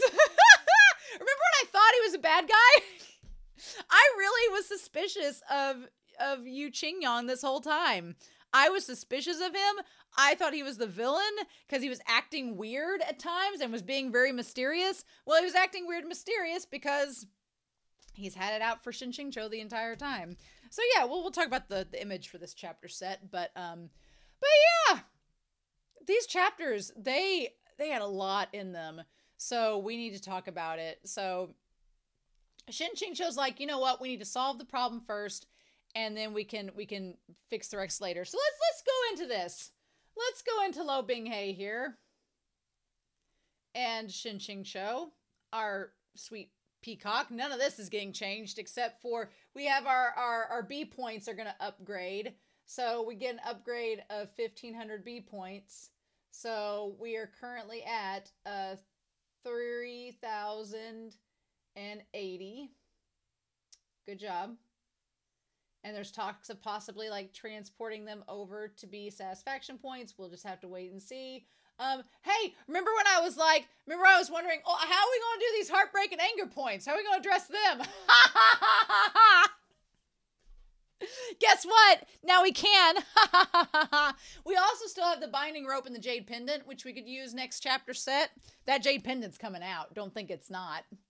It's going to. He's going to give it back to Lo Binghe and be like, Baka, Baka, what you doing? You know? So we're going to talk about that. But he's going to give that damn pendant back. I don't know if he's going to use the binding rope or trade it in. I don't know. But so he's got more B points back. Good on you. Um, and and he's completed most of the story. Most of the plot hole filling in has been completed. So good on us too. But so basically, the idea is that Xin Mo has been using Lo Binghe and getting it to where Lo Binghe is okay with the merge. But okay, and here's the thing. I was getting really frustrated with Lo Binghe, and we're going to talk about it. I was getting so frustrated with him in this chapter set, and I was like, mm. And then whenever they were like, oh, Xin Mo's in, possessed his mind and drove him crazy, it's like, okay, he's basically taken over his mind. And I am a little bit sad about that because then at that point, it's been ever since back in volume two people in the comments have been like, "Oh, Xin Mo has all of these effects," and and I kind of wish I hadn't known that. I kind of wish that people hadn't been pushing the in trying to defend Lo Binghe in the comments. A lot of people have been like, "Well, it's kind of Xin Mo's fault," and I kind of wish I didn't know that. That I could have gone into this chapter set without that knowledge because I was like, well, but you don't really get to fully see it in practice until now. So comments are important and they can spoil people. So be careful.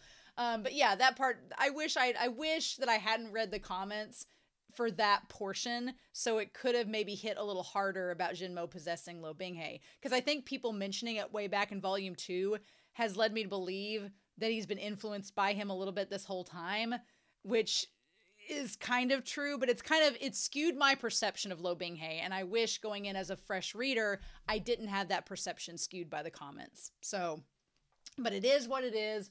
What can we do now? So, anyway, so he was okay with the merge as long as he could be with Shen Qingqiu, And he's got this inferiority complex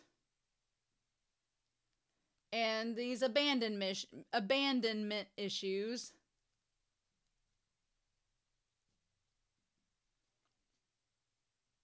and he's got these abandonment issues, inferiority complex, and he feels unloved.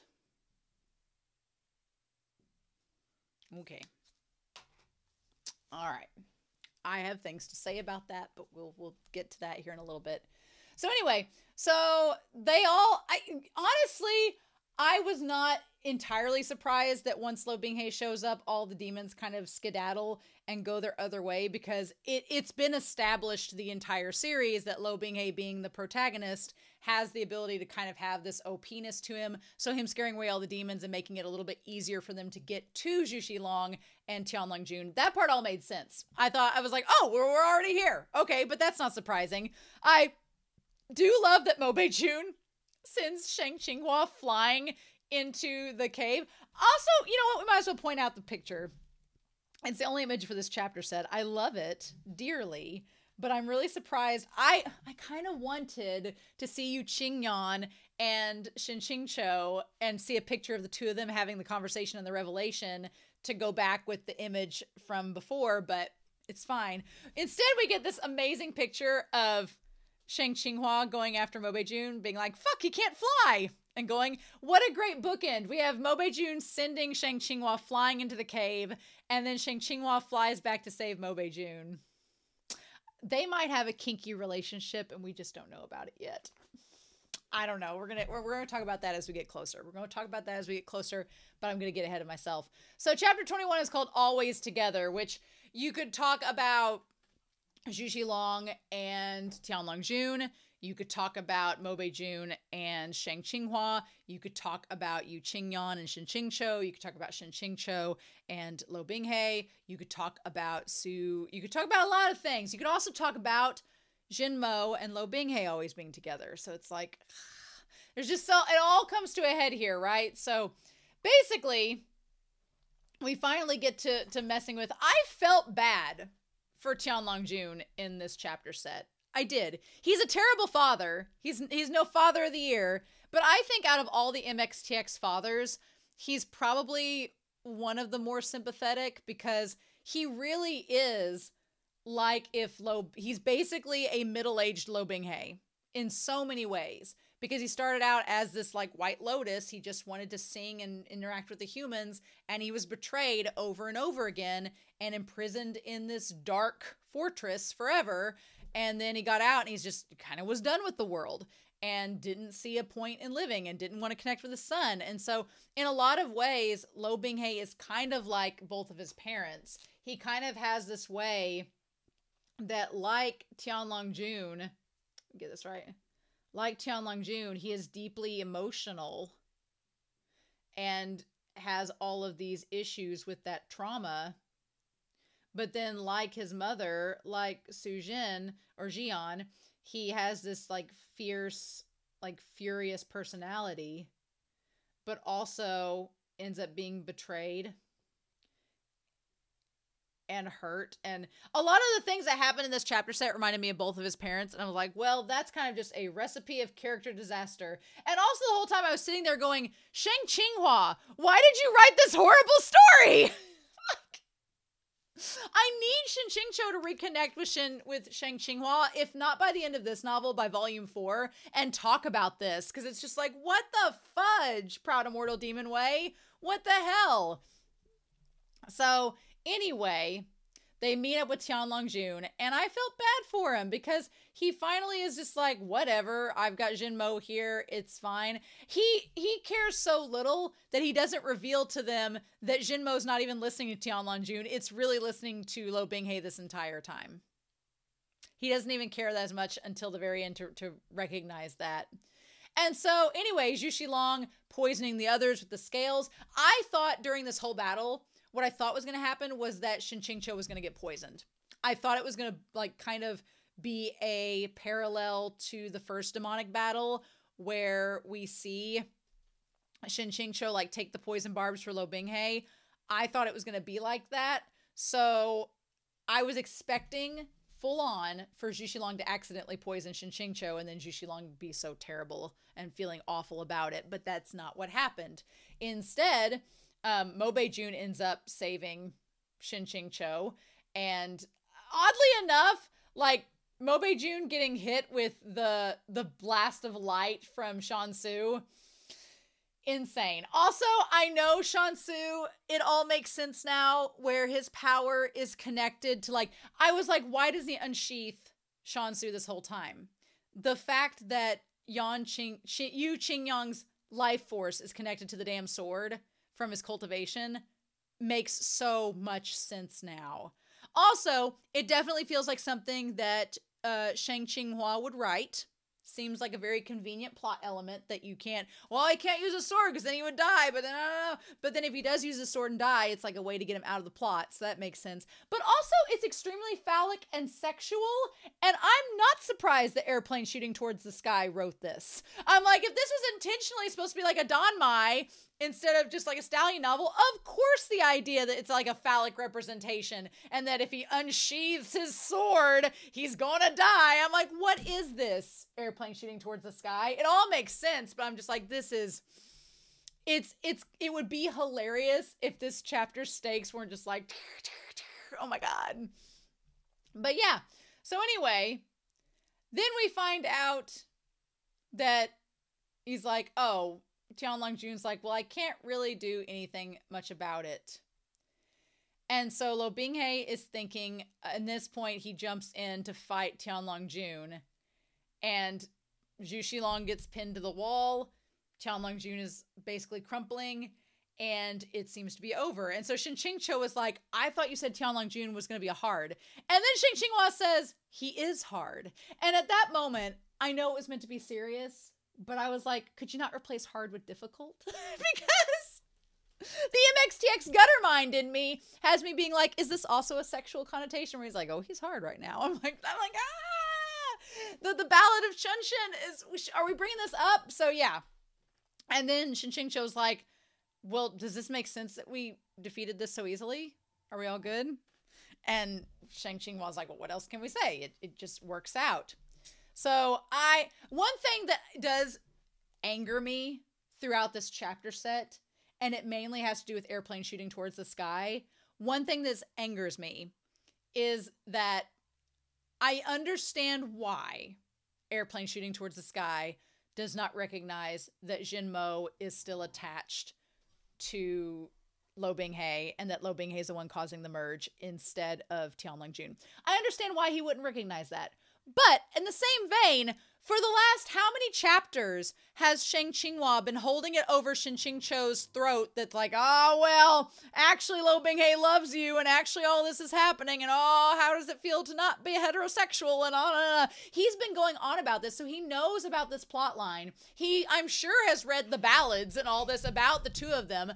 And so I'm like, you're the author of this story, Airplane. You didn't see this coming? And so I'm like, also, he wrote. It's like Jessica Rabbit's animator being in the room and being like, I don't know why she's reacting this way. I'm like, you drew her. So I'm like, you know, it's like, Airplane Shooting Towards the Sky literally created Lo Binghe's character with all of these character traits. And he didn't see this coming. I'm like, huh? But he also conveniently gets yeeted from the cave to go save Mobei-Jun, so he can't be there for all of this. And it's like, I just, I'm the most mad at Airplane Shooting Towards the Sky at this point. Now that I think about it, right? So I, think it should be said that at the end of the day, and we're gonna put Shen Qingqiu slash Shen Yuan, at the end of the day, he does not want to kill anyone. He has gone out of his way this whole story to not kill anyone, whether it's been Liu Qingge or Yu Qingyang, whether it's been Shang Qinghua, whether it's been Mobei-Jun or Sha Hualing. Like he's not wanted to kill anybody. That's been like the least he's wanted to do. Shen Qingqiu is is actually a really kind person. He's just wrapped up in peacockness, right? And he can be cynical, but he, he has a good heart deep down where he doesn't want to kill anybody. I mean, the Palace Master state was just for other reasons beyond control, but um, that was the case in point. We we figured out he deserved that fate. So basically, Zhu Long talks about. I like Zhu Long's sort of monologue here, where Shen Qingqiu is like, "Why are you letting yourself suffer?" And Zhu Long's like, "I've always been this way." just and Shen Qingqiu is just like, just like, let me grab, let me grab my foot, and I'm gonna put it in my mouth right now. I just it's such a I I feel for Shen Qingqiu in that moment so much because I I put my foot in my mouth in real life so many times and I'm like womp womp we shouldn't have done that. And so this felt like such a moment I could connect with Shen Qingqiu so much because he was like, "Oh, oh you've always looked that way." Oh. and poor Zhu Long. Like Zhu Long, I love his monologue. It felt like him finally getting to speak for himself and then Tianlong Jun is like, don't talk so much. He doesn't get it. And so then Tianlong Jun's like, look, if you were imprisoned under a mountain all these years and you had all this happen, would you have done any differently? And everybody's kind of like, I definitely think it speaks something to, and I'm sure MXTX is making commentary about it, but I have family that kind of work, they work in the prison system here in the US. And it not only changes kind of who you are fundamentally to see the worst of people all the time, but I constantly have conversations with them talking about how, you know, because I'm very much, you know, from being in education with um, mediation and conflict resolution, we talk a lot about restore, restorative justice. And it's kind of a different way of looking at the justice system and how we treat people as humans. It's not perfect and it's not going to reach everybody, obviously, but it is trying to find the humanity in people and understanding, you know, despite their mistakes, that they are people at the end of the day and trying to work with that. And it can be hard to tell someone that when all they see in a prison system is the worst of humanity. And usually those people are the worst because they've given up and they don't see the point anymore. And they're just kind of like, well, who cares? Y'all think I'm guilty. Y'all think I'm not a human. Who cares? And I, I just I felt that through Tianlong Jun in this moment, and it broke my heart because then when Wu Chen is like, "Hey, look, I know I could have brought this back up at the Hua Monastery," and we're like, "Well, it would have been great if you had," and he was like, "But the circumstances didn't let me," and I'm like, "Oh my god!" And he finally brings up everything and goes through everything, and Tianlong Jun finally gets all the realization that he needs to know that things weren't as they seem and to be like, oh, shit, this was like this the whole time. And then Shen Qingqiu and everybody else is like, yep, apparently. It, it made you just, you, I felt so bad for him. But I want to point this out. Lo Binghe is not listening during this whole story, apparently. And I'm like, I really wish you'd listened, Lo Bing Binghe, because seems like you could have learned something from this moment because as Tianlong Jun finds out, it's this idea that there are often hidden hidden plot lines or reasons that are not apparent at first.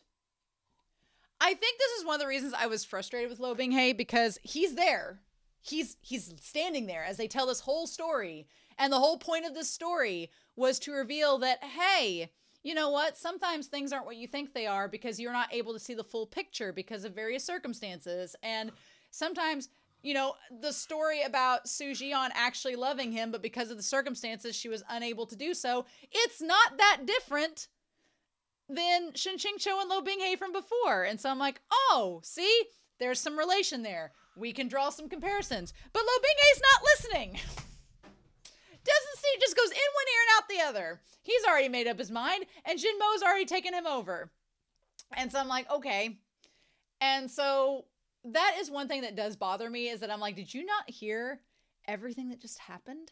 And I know when I'm about to I'm about to dig into Lo Bing Binghe a little bit, and all of Lo Bing Binghe's stands, they're sharpening their pitchforks. All of Lo Bing Binghe's stands are just they're sharpening their little Wolverine claws, ready to dive into me, and they're gonna make the excuse of, well, he was already possessed by Xin Mo to the point of blah blah blah blah blah. I don't care. I'm gonna talk about it because I whatever doesn't matter if it is or not. It's still his intrusive thoughts and his character in general that I'm gonna wreck on here for just a hot second and defend my peacock because I know the comments are going to be like, see, Lo Binghe has suffered so much and he's had so many bad things happen to him and it's all Shen Qingqiu's fault. No, they're both idiots. We've established this a long time ago, but I, we're going to talk about this a little bit. But I'm like, you know, Lo Binghe, you've lost Shen Qingqiu twice now by doing stupid things. so, and to Lo Binghe's credit, a lot of it has been things he didn't again the problem with this story with our two main characters is that they have not had the opportunity to communicate with one another over the last several chapters. They've been really close, and I've been wanting them to talk to each other, and they haven't gotten to that point. And I thought things were going to get better, and they were going to get a chance to talk to each other, and then this all happened. And it was like, shit, no, never mind, wait. But to Lo Binghe's credit, I do think that there have been a lot of moments we're going to talk about and put up here on Whiteboard Coon that needed to be addressed that weren't. And to Lo Binghe's credit, he did not kill Gongyi Xiao. That was Yu Long. He did not um, do a lot of things to the palace guards and things like that. That was the old palace master. He did not cause a lot of the events to happen. He was just as in the dark as anybody else, and he was wrongfully blamed. So to Lo Binghe's credit, yeah, he had all that happen. It's just now I'm focused on this here right now. I love the imagery that MXTX gives us with this of the snowflakes falling in, like the cave, the sunlight, the snowflakes. Like it's so beautiful. And like I want I want this animated so badly. And I know there's probably animatics out there that I'm going to check out when I'm caught up, but I hope that some of this stuff is animated because it's just so good. It's great. But yeah, so the black smoke and purple miasma continues to spew from Xin Mo without pause as the battle gets, you know, more and more clear. And so Shen Cho, he feels really bad for Tianlong Jun. He's like, I really don't think we should kill this guy because, you know, he, he really doesn't deserve to die. He's just been a victim of circumstance. And so then uh, Tianlong Jun's like, look, I know you like to think that I'm responsible for this demonic sword spewing out all this energy, but I can't even maintain Zhu Zhilong's human form anymore, so not me. like, shit. Okay. And so he's like, you know, who's been giving Xin Mo this demonic chi this whole time? It's Lo Binghe. So then we get to chapter 79. So let's talk about this chapter, shall we? And it's so funny that of all times, Shen Qingqiu asks Lo Binghe to come here. Lo Binghe's asked Shen Qingqiu to come to him several times, and Qingqiu said no, but we'll talk about that. But then this one time, Lo Binghe's like, no, I'm not coming to you. You never came to me. I'm not doing it. And Shen Qingqiu's like, well, you lied to me, which is a thing. And Lo of course, is like, well, I didn't lie to you because I said I'd help you against Tianlong Jun. That wasn't a lie. And I like that Shen Qingqiu's like, well, it wasn't the damn truth. so, so anyway, Tianlong Jun says, well, letting the enemy go to cover for one's own work is quite a good move, but I'm not very useful, so it was really him. So Lo Binghe personally gave Xin Mo to Tianlong Jun to make it seem like it wasn't him. So this has been premeditated, y'all. Lo Binghe premeditated this whole merging of worlds from way back several chapters ago that he premeditated this.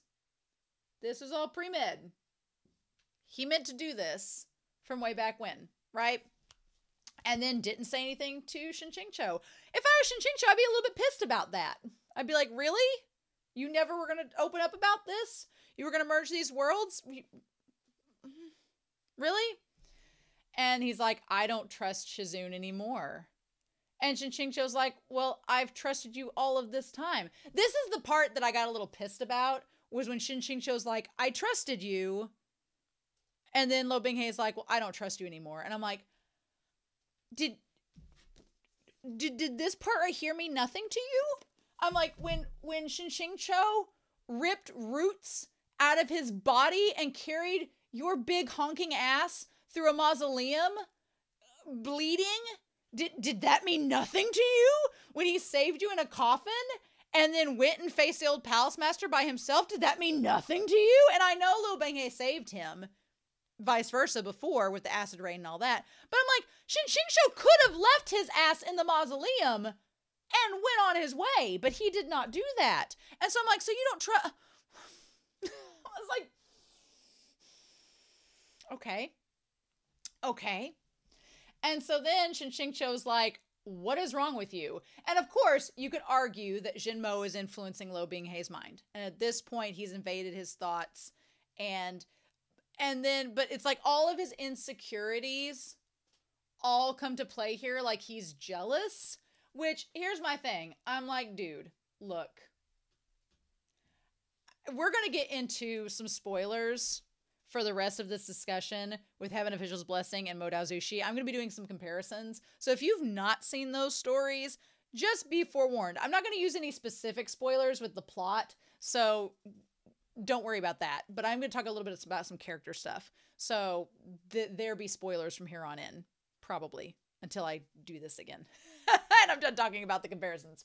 But I when he was like, "Well, when you're with them, you're happiest," and you're the, I'm, I'm sorry, and this is gonna piss off a bunch of Lo Hay stands, and to that I say I'm sorry. This is going to sound insincere. It's gonna sound a little mean, and if that offends you, I'm very sorry. I'm very deeply sorry, but man the fuck up. I'm like I that whole his jealousy at Shen Qingqiu because he likes other people other than just him. I'm like, I'm sorry. I never saw Lan Wangji getting mad at Wei Wuxian because he's frenzies with Nie Huaisang. Never saw that.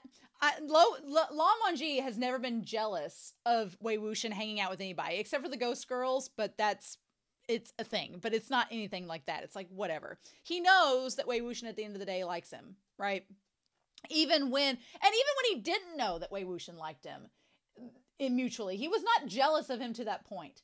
Then you have Hua Cheng, who is a much more jealous character, mind you, than Lan Wangji. But even Hua Cheng would just give like a hmm, hmm at Xie Lian's friends, but he wasn't willing to destroy the world so that it would just be him and Shi Lian.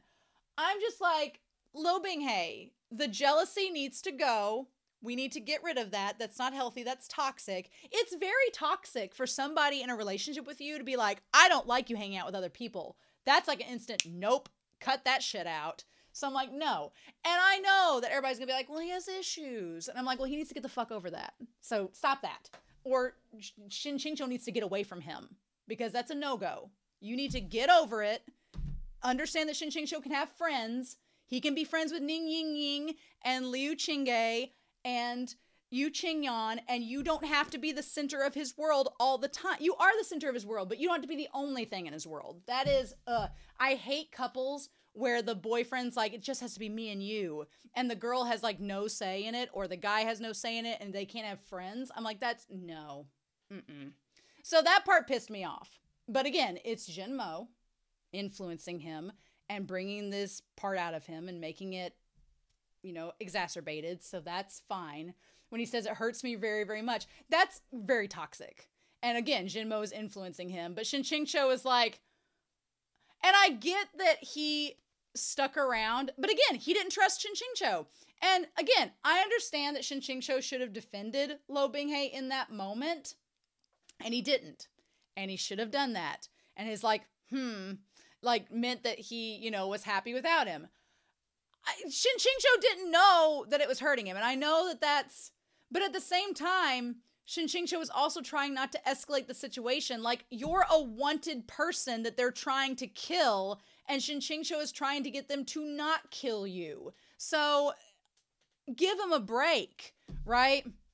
And then and then Lo Binghe talks about hating himself. And I did feel bad for him here. When he talks about hating himself and how useless he is, now he can't do anything and uh, and all this stuff.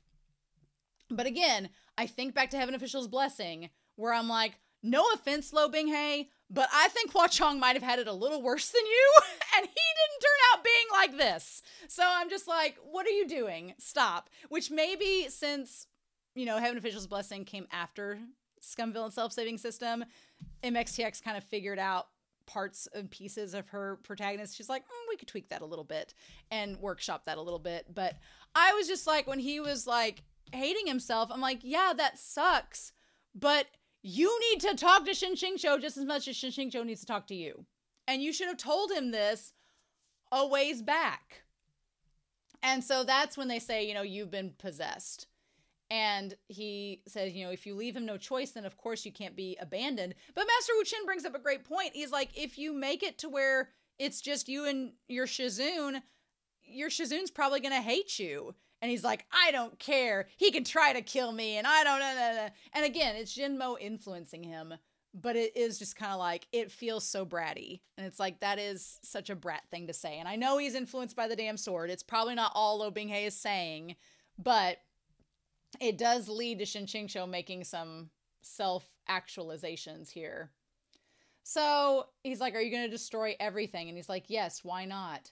And then he tries to shut up Zhu Zhilong. Right. So, and the part that hurt me the most was that Shen Qingqiu, the part that did hurt me that Shen Qingqiu did in this chapter set is that when he's trying to talk Lo Binghe down, he has his hand on his sword. And I'm like, but that's what got us here in the first place. So stop doing that. So it was just like, it felt like we were regressing so much. We'd made so much progress and we were taking so many steps back. And I'm like, I thought we already dealt with this in volume two. I thought y'all learned your lessons, but you're both still Bakas. So no. And then Zhu Zhilong calls him pitiful. And he's like, Will Shizun stay by my side this once? And here's the thing that got me was that he talks about Shizun abandoning him. He's like, they all have become a reason to abandon me until sometimes you don't even need a reason. It's always like this. And I know that the sword is exacerbating and making him like exaggerate his feelings, but let's talk about that when we get to it down here because I felt a little bit like Shin cho was conceding a little much. I was like, you don't need to apologize for some of the things you did because you had a reason for doing it. And Lo Binghe needs to not be such a codependent little shit and get over some of that. And I know that some people are going to be like, well, that's how I am too. And I understand. And I'm like, that is perfectly fine. But if you're going to be in a relationship with somebody, you've got to communicate and you've got to understand where the other person's coming from and I will defend Shen Qingqiu in some of his actions when we get down to it. So you, Ching Qingyan knocks Mobei-jun back. I love Shang Qinghua saying, well, fuck, he can't fly. I gotta go save him. I feel at this point like Shang Qinghua has fully accepted the fact that he meant to write a danmei from the beginning. And he's fully settled into the fact that he's like, well, I'm going to be with Mobei-jun if I can get out of this. Um, and we'll be all fine. I was like, we're all good. Um, and so I just I, w- I hope we get more of Shang Qinghua and Mobei-jun throughout this. I really hope that we do. But and I I want to express because I know there's probably several Lo Binghe stands that are going to be writing me very hateful comments about how I've misunderstood Lo Binghe's character and all of this. I am being harsh with him, and I I shouldn't be. And I'm sorry I'm being so harsh. This is my initial reaction. In a week, I will probably calm down and be. I'm like my face is flushed right now. I will probably be much more calm. But I was a little bit mad that Lo Binghe is treated in this in this vault in this chapter set. I know he's possessed by the sword's evil powers, but I was kind of pissed off that Shin that Shen Qingqiu was like, yeah, yeah, it is right. I probably shouldn't have done all that. I'm like, stand up for yourself. No, there are some things he did that I'm like, Lo Binghe just needs to get a spine and deal with it. And it was kind of pissing me off because it almost made it seem like it was all Shen Qingqiu's fault. And I'm like, it is not all his fault, actually. And so we need to get into this. So they all go in the cave, everything finally caves in.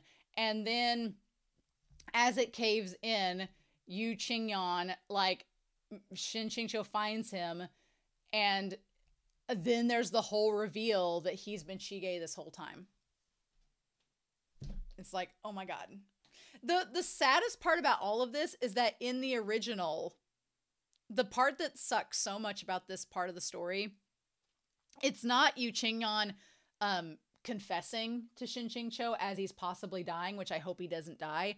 But the fact of it is when Shen Qingqiu realizes one, Yu Qingyang is finally confessing to not Shen Jiu, but Shen Yuan. So it's not a confession that's ever going to hit the original Shen Qingqiu, the original flavor's ears. Two, the original flavor ends up actually killing him without realizing that it was him. And Shen Qingqiu's like, this is all messed up. this is all messed up. Like airplane shooting towards the sky. What are you doing? And it was all of these plot lines that were just cut out because they weren't popular and weren't going to go with the original story. And it's insane. So anyway, he confesses that he was Qi-ge, that his sword was his life force, and then they find out that it was because of a chi, chi deviation. He said by using his life force to channel his spiritual energy, he bound his life to his sword. It's like, how could he have? He says, when I was 15, I entered Qiong Ding Peak and my heart preoccupied and desperate for success. And he's like, instead, I ended up like I am now, but it ended up working to my advantage. And then he says he's sorry. He's like, I am an impulsive person. And that's when he realizes that who he actually is. Yep.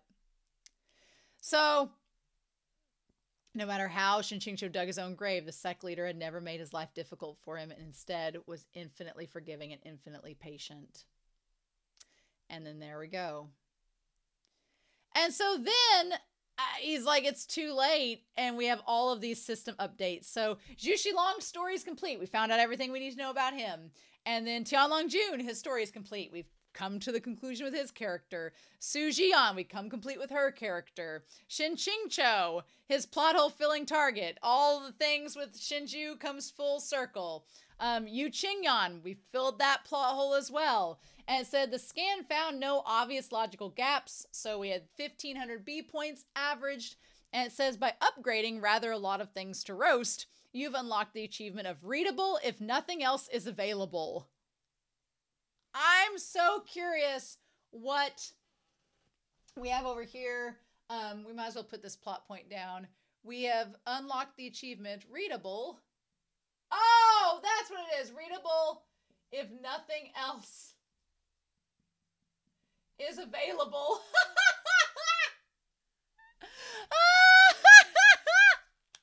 so basically, we went from, oh, we can roast some things, like make fun of some things in the story, to I guess if you had to read it in an airport, you could. Airplane shooting towards the sky, right? So it says satisfaction points are at zero. In this situation, you can substitute B points when paying for drop cost of key items. So I guess you can substitute the point the B points out to use the drop items. Sure. And this is probably my favorite part of the chapter, but also the part I wanted to stand up for Shen Qingqiu is he was like, what was the point? He finally unlocked all these achievements. And I love how at this point in the story, everything has come full circle. And it's such a bookend moment from the very first volume. In the first volume, Shen Qingqiu was so eager to play this like a, a game and to get those points. And now that he's finally doing and achieving all the things, he's like, this isn't a game. And he's like, what is, what was this system? What was the point of its existence? So he could know how unfortunate all these people were how he could witness the most tragic ways the world could screw people over or so he could drive Lo Binghe to insanity. So then he's questioning what is the point of the scum villain self-saving system? Which we haven't gotten to save Lo Binghe yet so he questions whether it's to see all of this tragedy or drive Lo Binghe to insanity. Because at the very beginning, what I like is it bookends Shen Qingqiu was trying everything he could to save himself. And now he saved himself. You know, Yu Qingyang sacrificed himself to save him. He technically could get off and get out of here. If he walked away right now and left the cave and left Lo Binghe, he'd probably be fine. But what was the price of that? And he said everyone had said Lo Binghe had gone mad. Xin Mo, which Lo Binghe had finally managed to suppress after a million word struggle in the original work, had gained the upper hand in this struggle and invaded his mind. So the OG had Lo Binghe controlling Xin Mo. And here in this version, Xin Mo is controlling Lo Binghe. Okay. So we have that. And he says this wasn't the result of one or two events, but an accumulation over time until it finally erupted. And I do like this. I do like that Shen Qingqiu is like, there were a lot of flags that were noting the progression of all of this. And he's like, I should have noticed, but I didn't because I didn't think that they were. And I'm like, I don't think I can be mad at Shen Qingqiu for not noticing because how could you notice? Because Lo Binghe never talked to him about it. So how could he note? And so he's like, he never realized Lo Binghe was actually so insecure to the point of having inferiority complex. And that is something that, yeah, how was he supposed to know? Because Lo Bing Binghe never talked to him about it. He's like, at first he thought he, he thought Lo Bing Binghe was unbelievable, cruel, and evil, and then he thought he was strong and bright. And looking back, he's like, they had appeared as early as Zhaohua Monastery. Now, this is the part I will defend Shen Qingqiu because when he heard the backstory, he had this shock. The moment of his greatest panic, he reached out to Shen Qingqiu and pleaded for his Shizun to leave with him. And Shen Qingqiu hadn't taken his hand, but instead made Lo Binghe leave first. And at the time, he grew unstable, but what he needed wasn't the path of safe retreat, but to stay with him. So, this is the part where I will defend Shen Qingqiu's actions a little bit because Shen Qingqiu was sending Lo Binghe away because he thought Lo Binghe was in danger. So he's like, hey, no, you go ahead and leave. I'll meet up with you later, but I need to settle things here and try to do what the system is telling me to do and try to figure things out. And yeah, maybe if he knew, but the thing is, Lo Binghe should have said, I just want to be with you and I'm going to stay with you. He should have said that. Lo Binghe should have been like, I want to stay with you, Shen Qingqiu. I don't want to leave Shizun. Let me stay and we'll handle it together.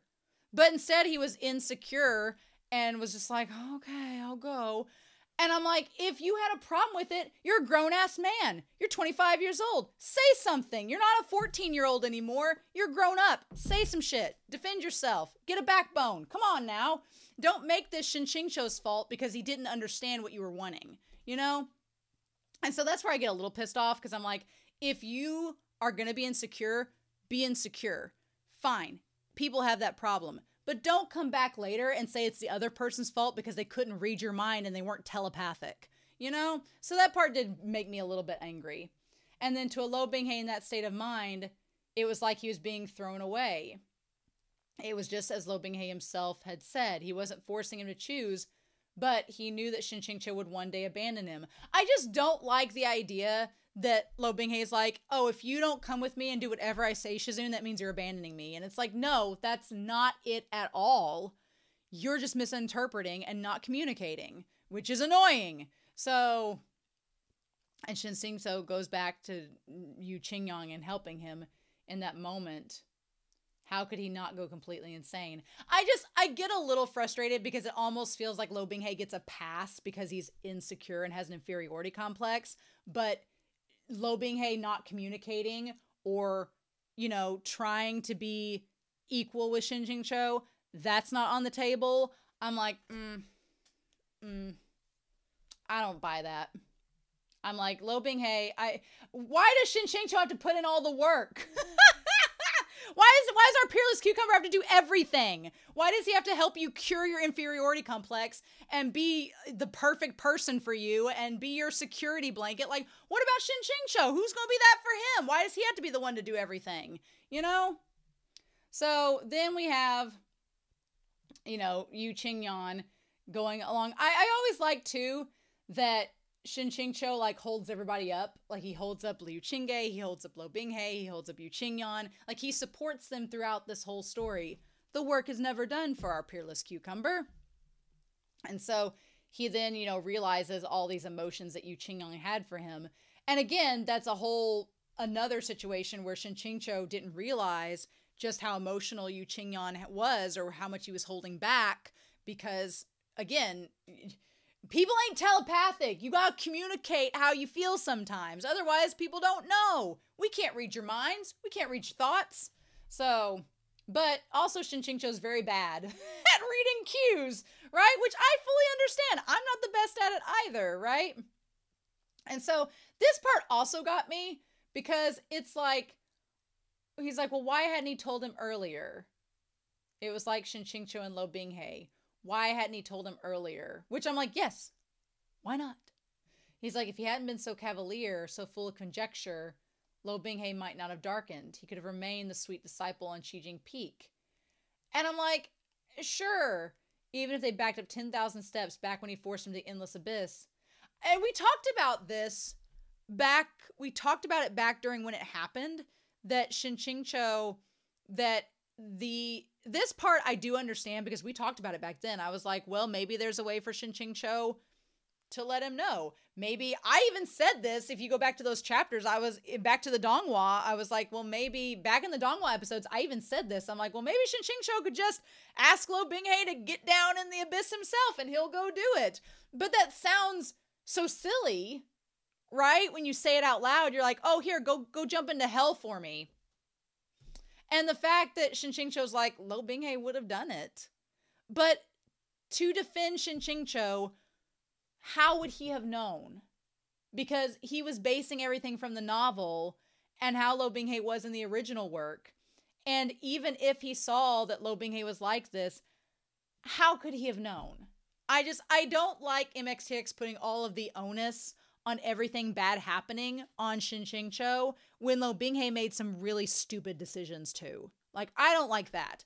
I don't feel like Shen Qingqiu should get the brunt of the blame for being a normal freaking human being and for not assuming that someone would. I mean, it is beautiful that Lo Binghe would do anything for his Shizun. It's great. It's beautiful. We all would like that.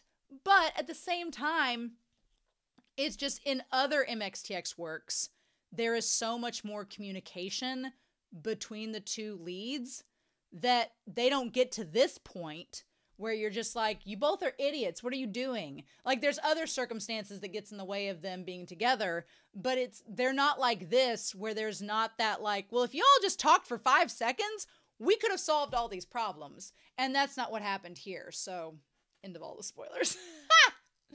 but yeah. And then Shen Qingqiu's like, I'm ashamed of myself. And I'm like, don't be ashamed of yourself, Shen Qingqiu. I wish to solve these affairs. I I mean, I understand Shen Qingqiu is ashamed that he, you know, didn't view Lo Binghe as a fully realized character based on all of the criteria that would lead him to think otherwise and I get that he wants to fix things.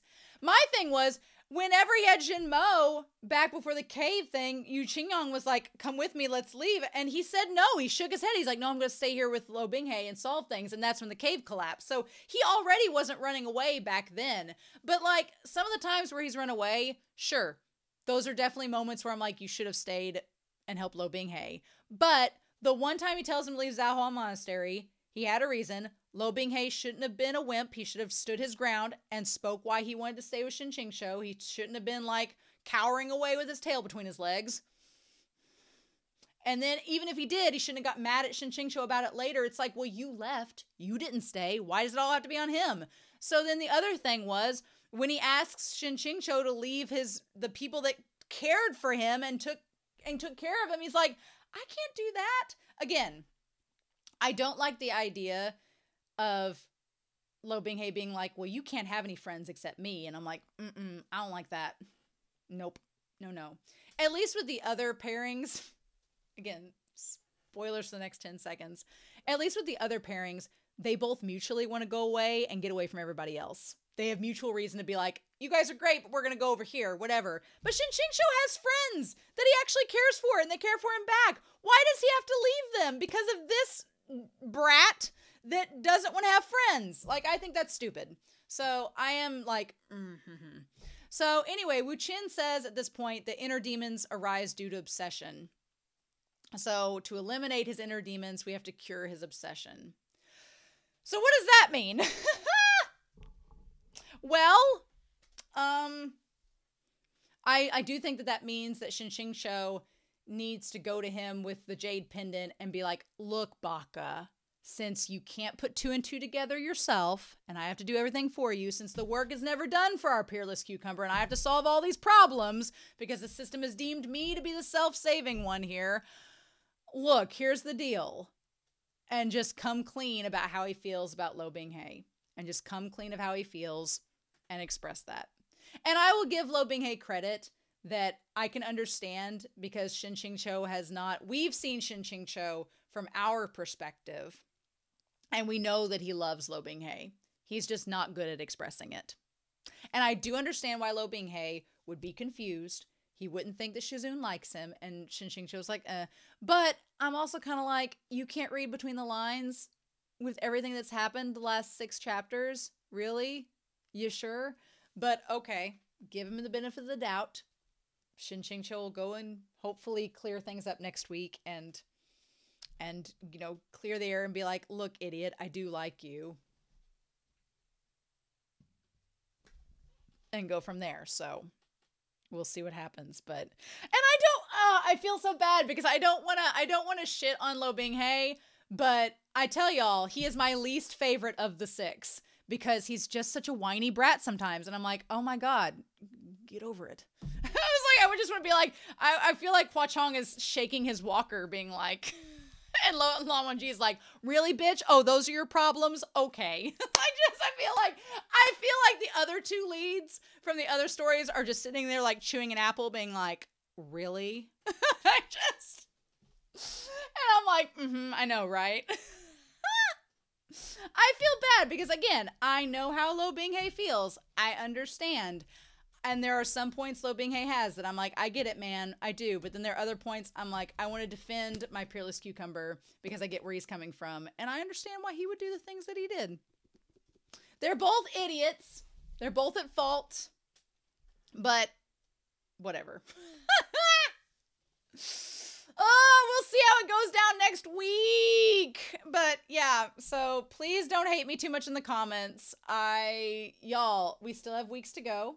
We still have volume four to go. I have not made final judgment against Lo Binghe, but he was a brat this chapter. And I was just like, I thought we were past this, sir. I thought that once you hit 25, when you're 15, it was acceptable. But now you've matured a bit. I thought we'd learned our lessons. But I guess when you get possessed by demonic swords, those lessons kind of go out the window. So. But we'll see. I'm going to reserve my final judgment on him until the end of volume four. Maybe I'll change my mind. But anyway, um, I'm curious to know your comments down below. Please be gentle. but I hope you all have a wonderful week. Please stay safe, take care, and yeah, I'll be back real soon with more of Scum Villain's self saving system. Bye.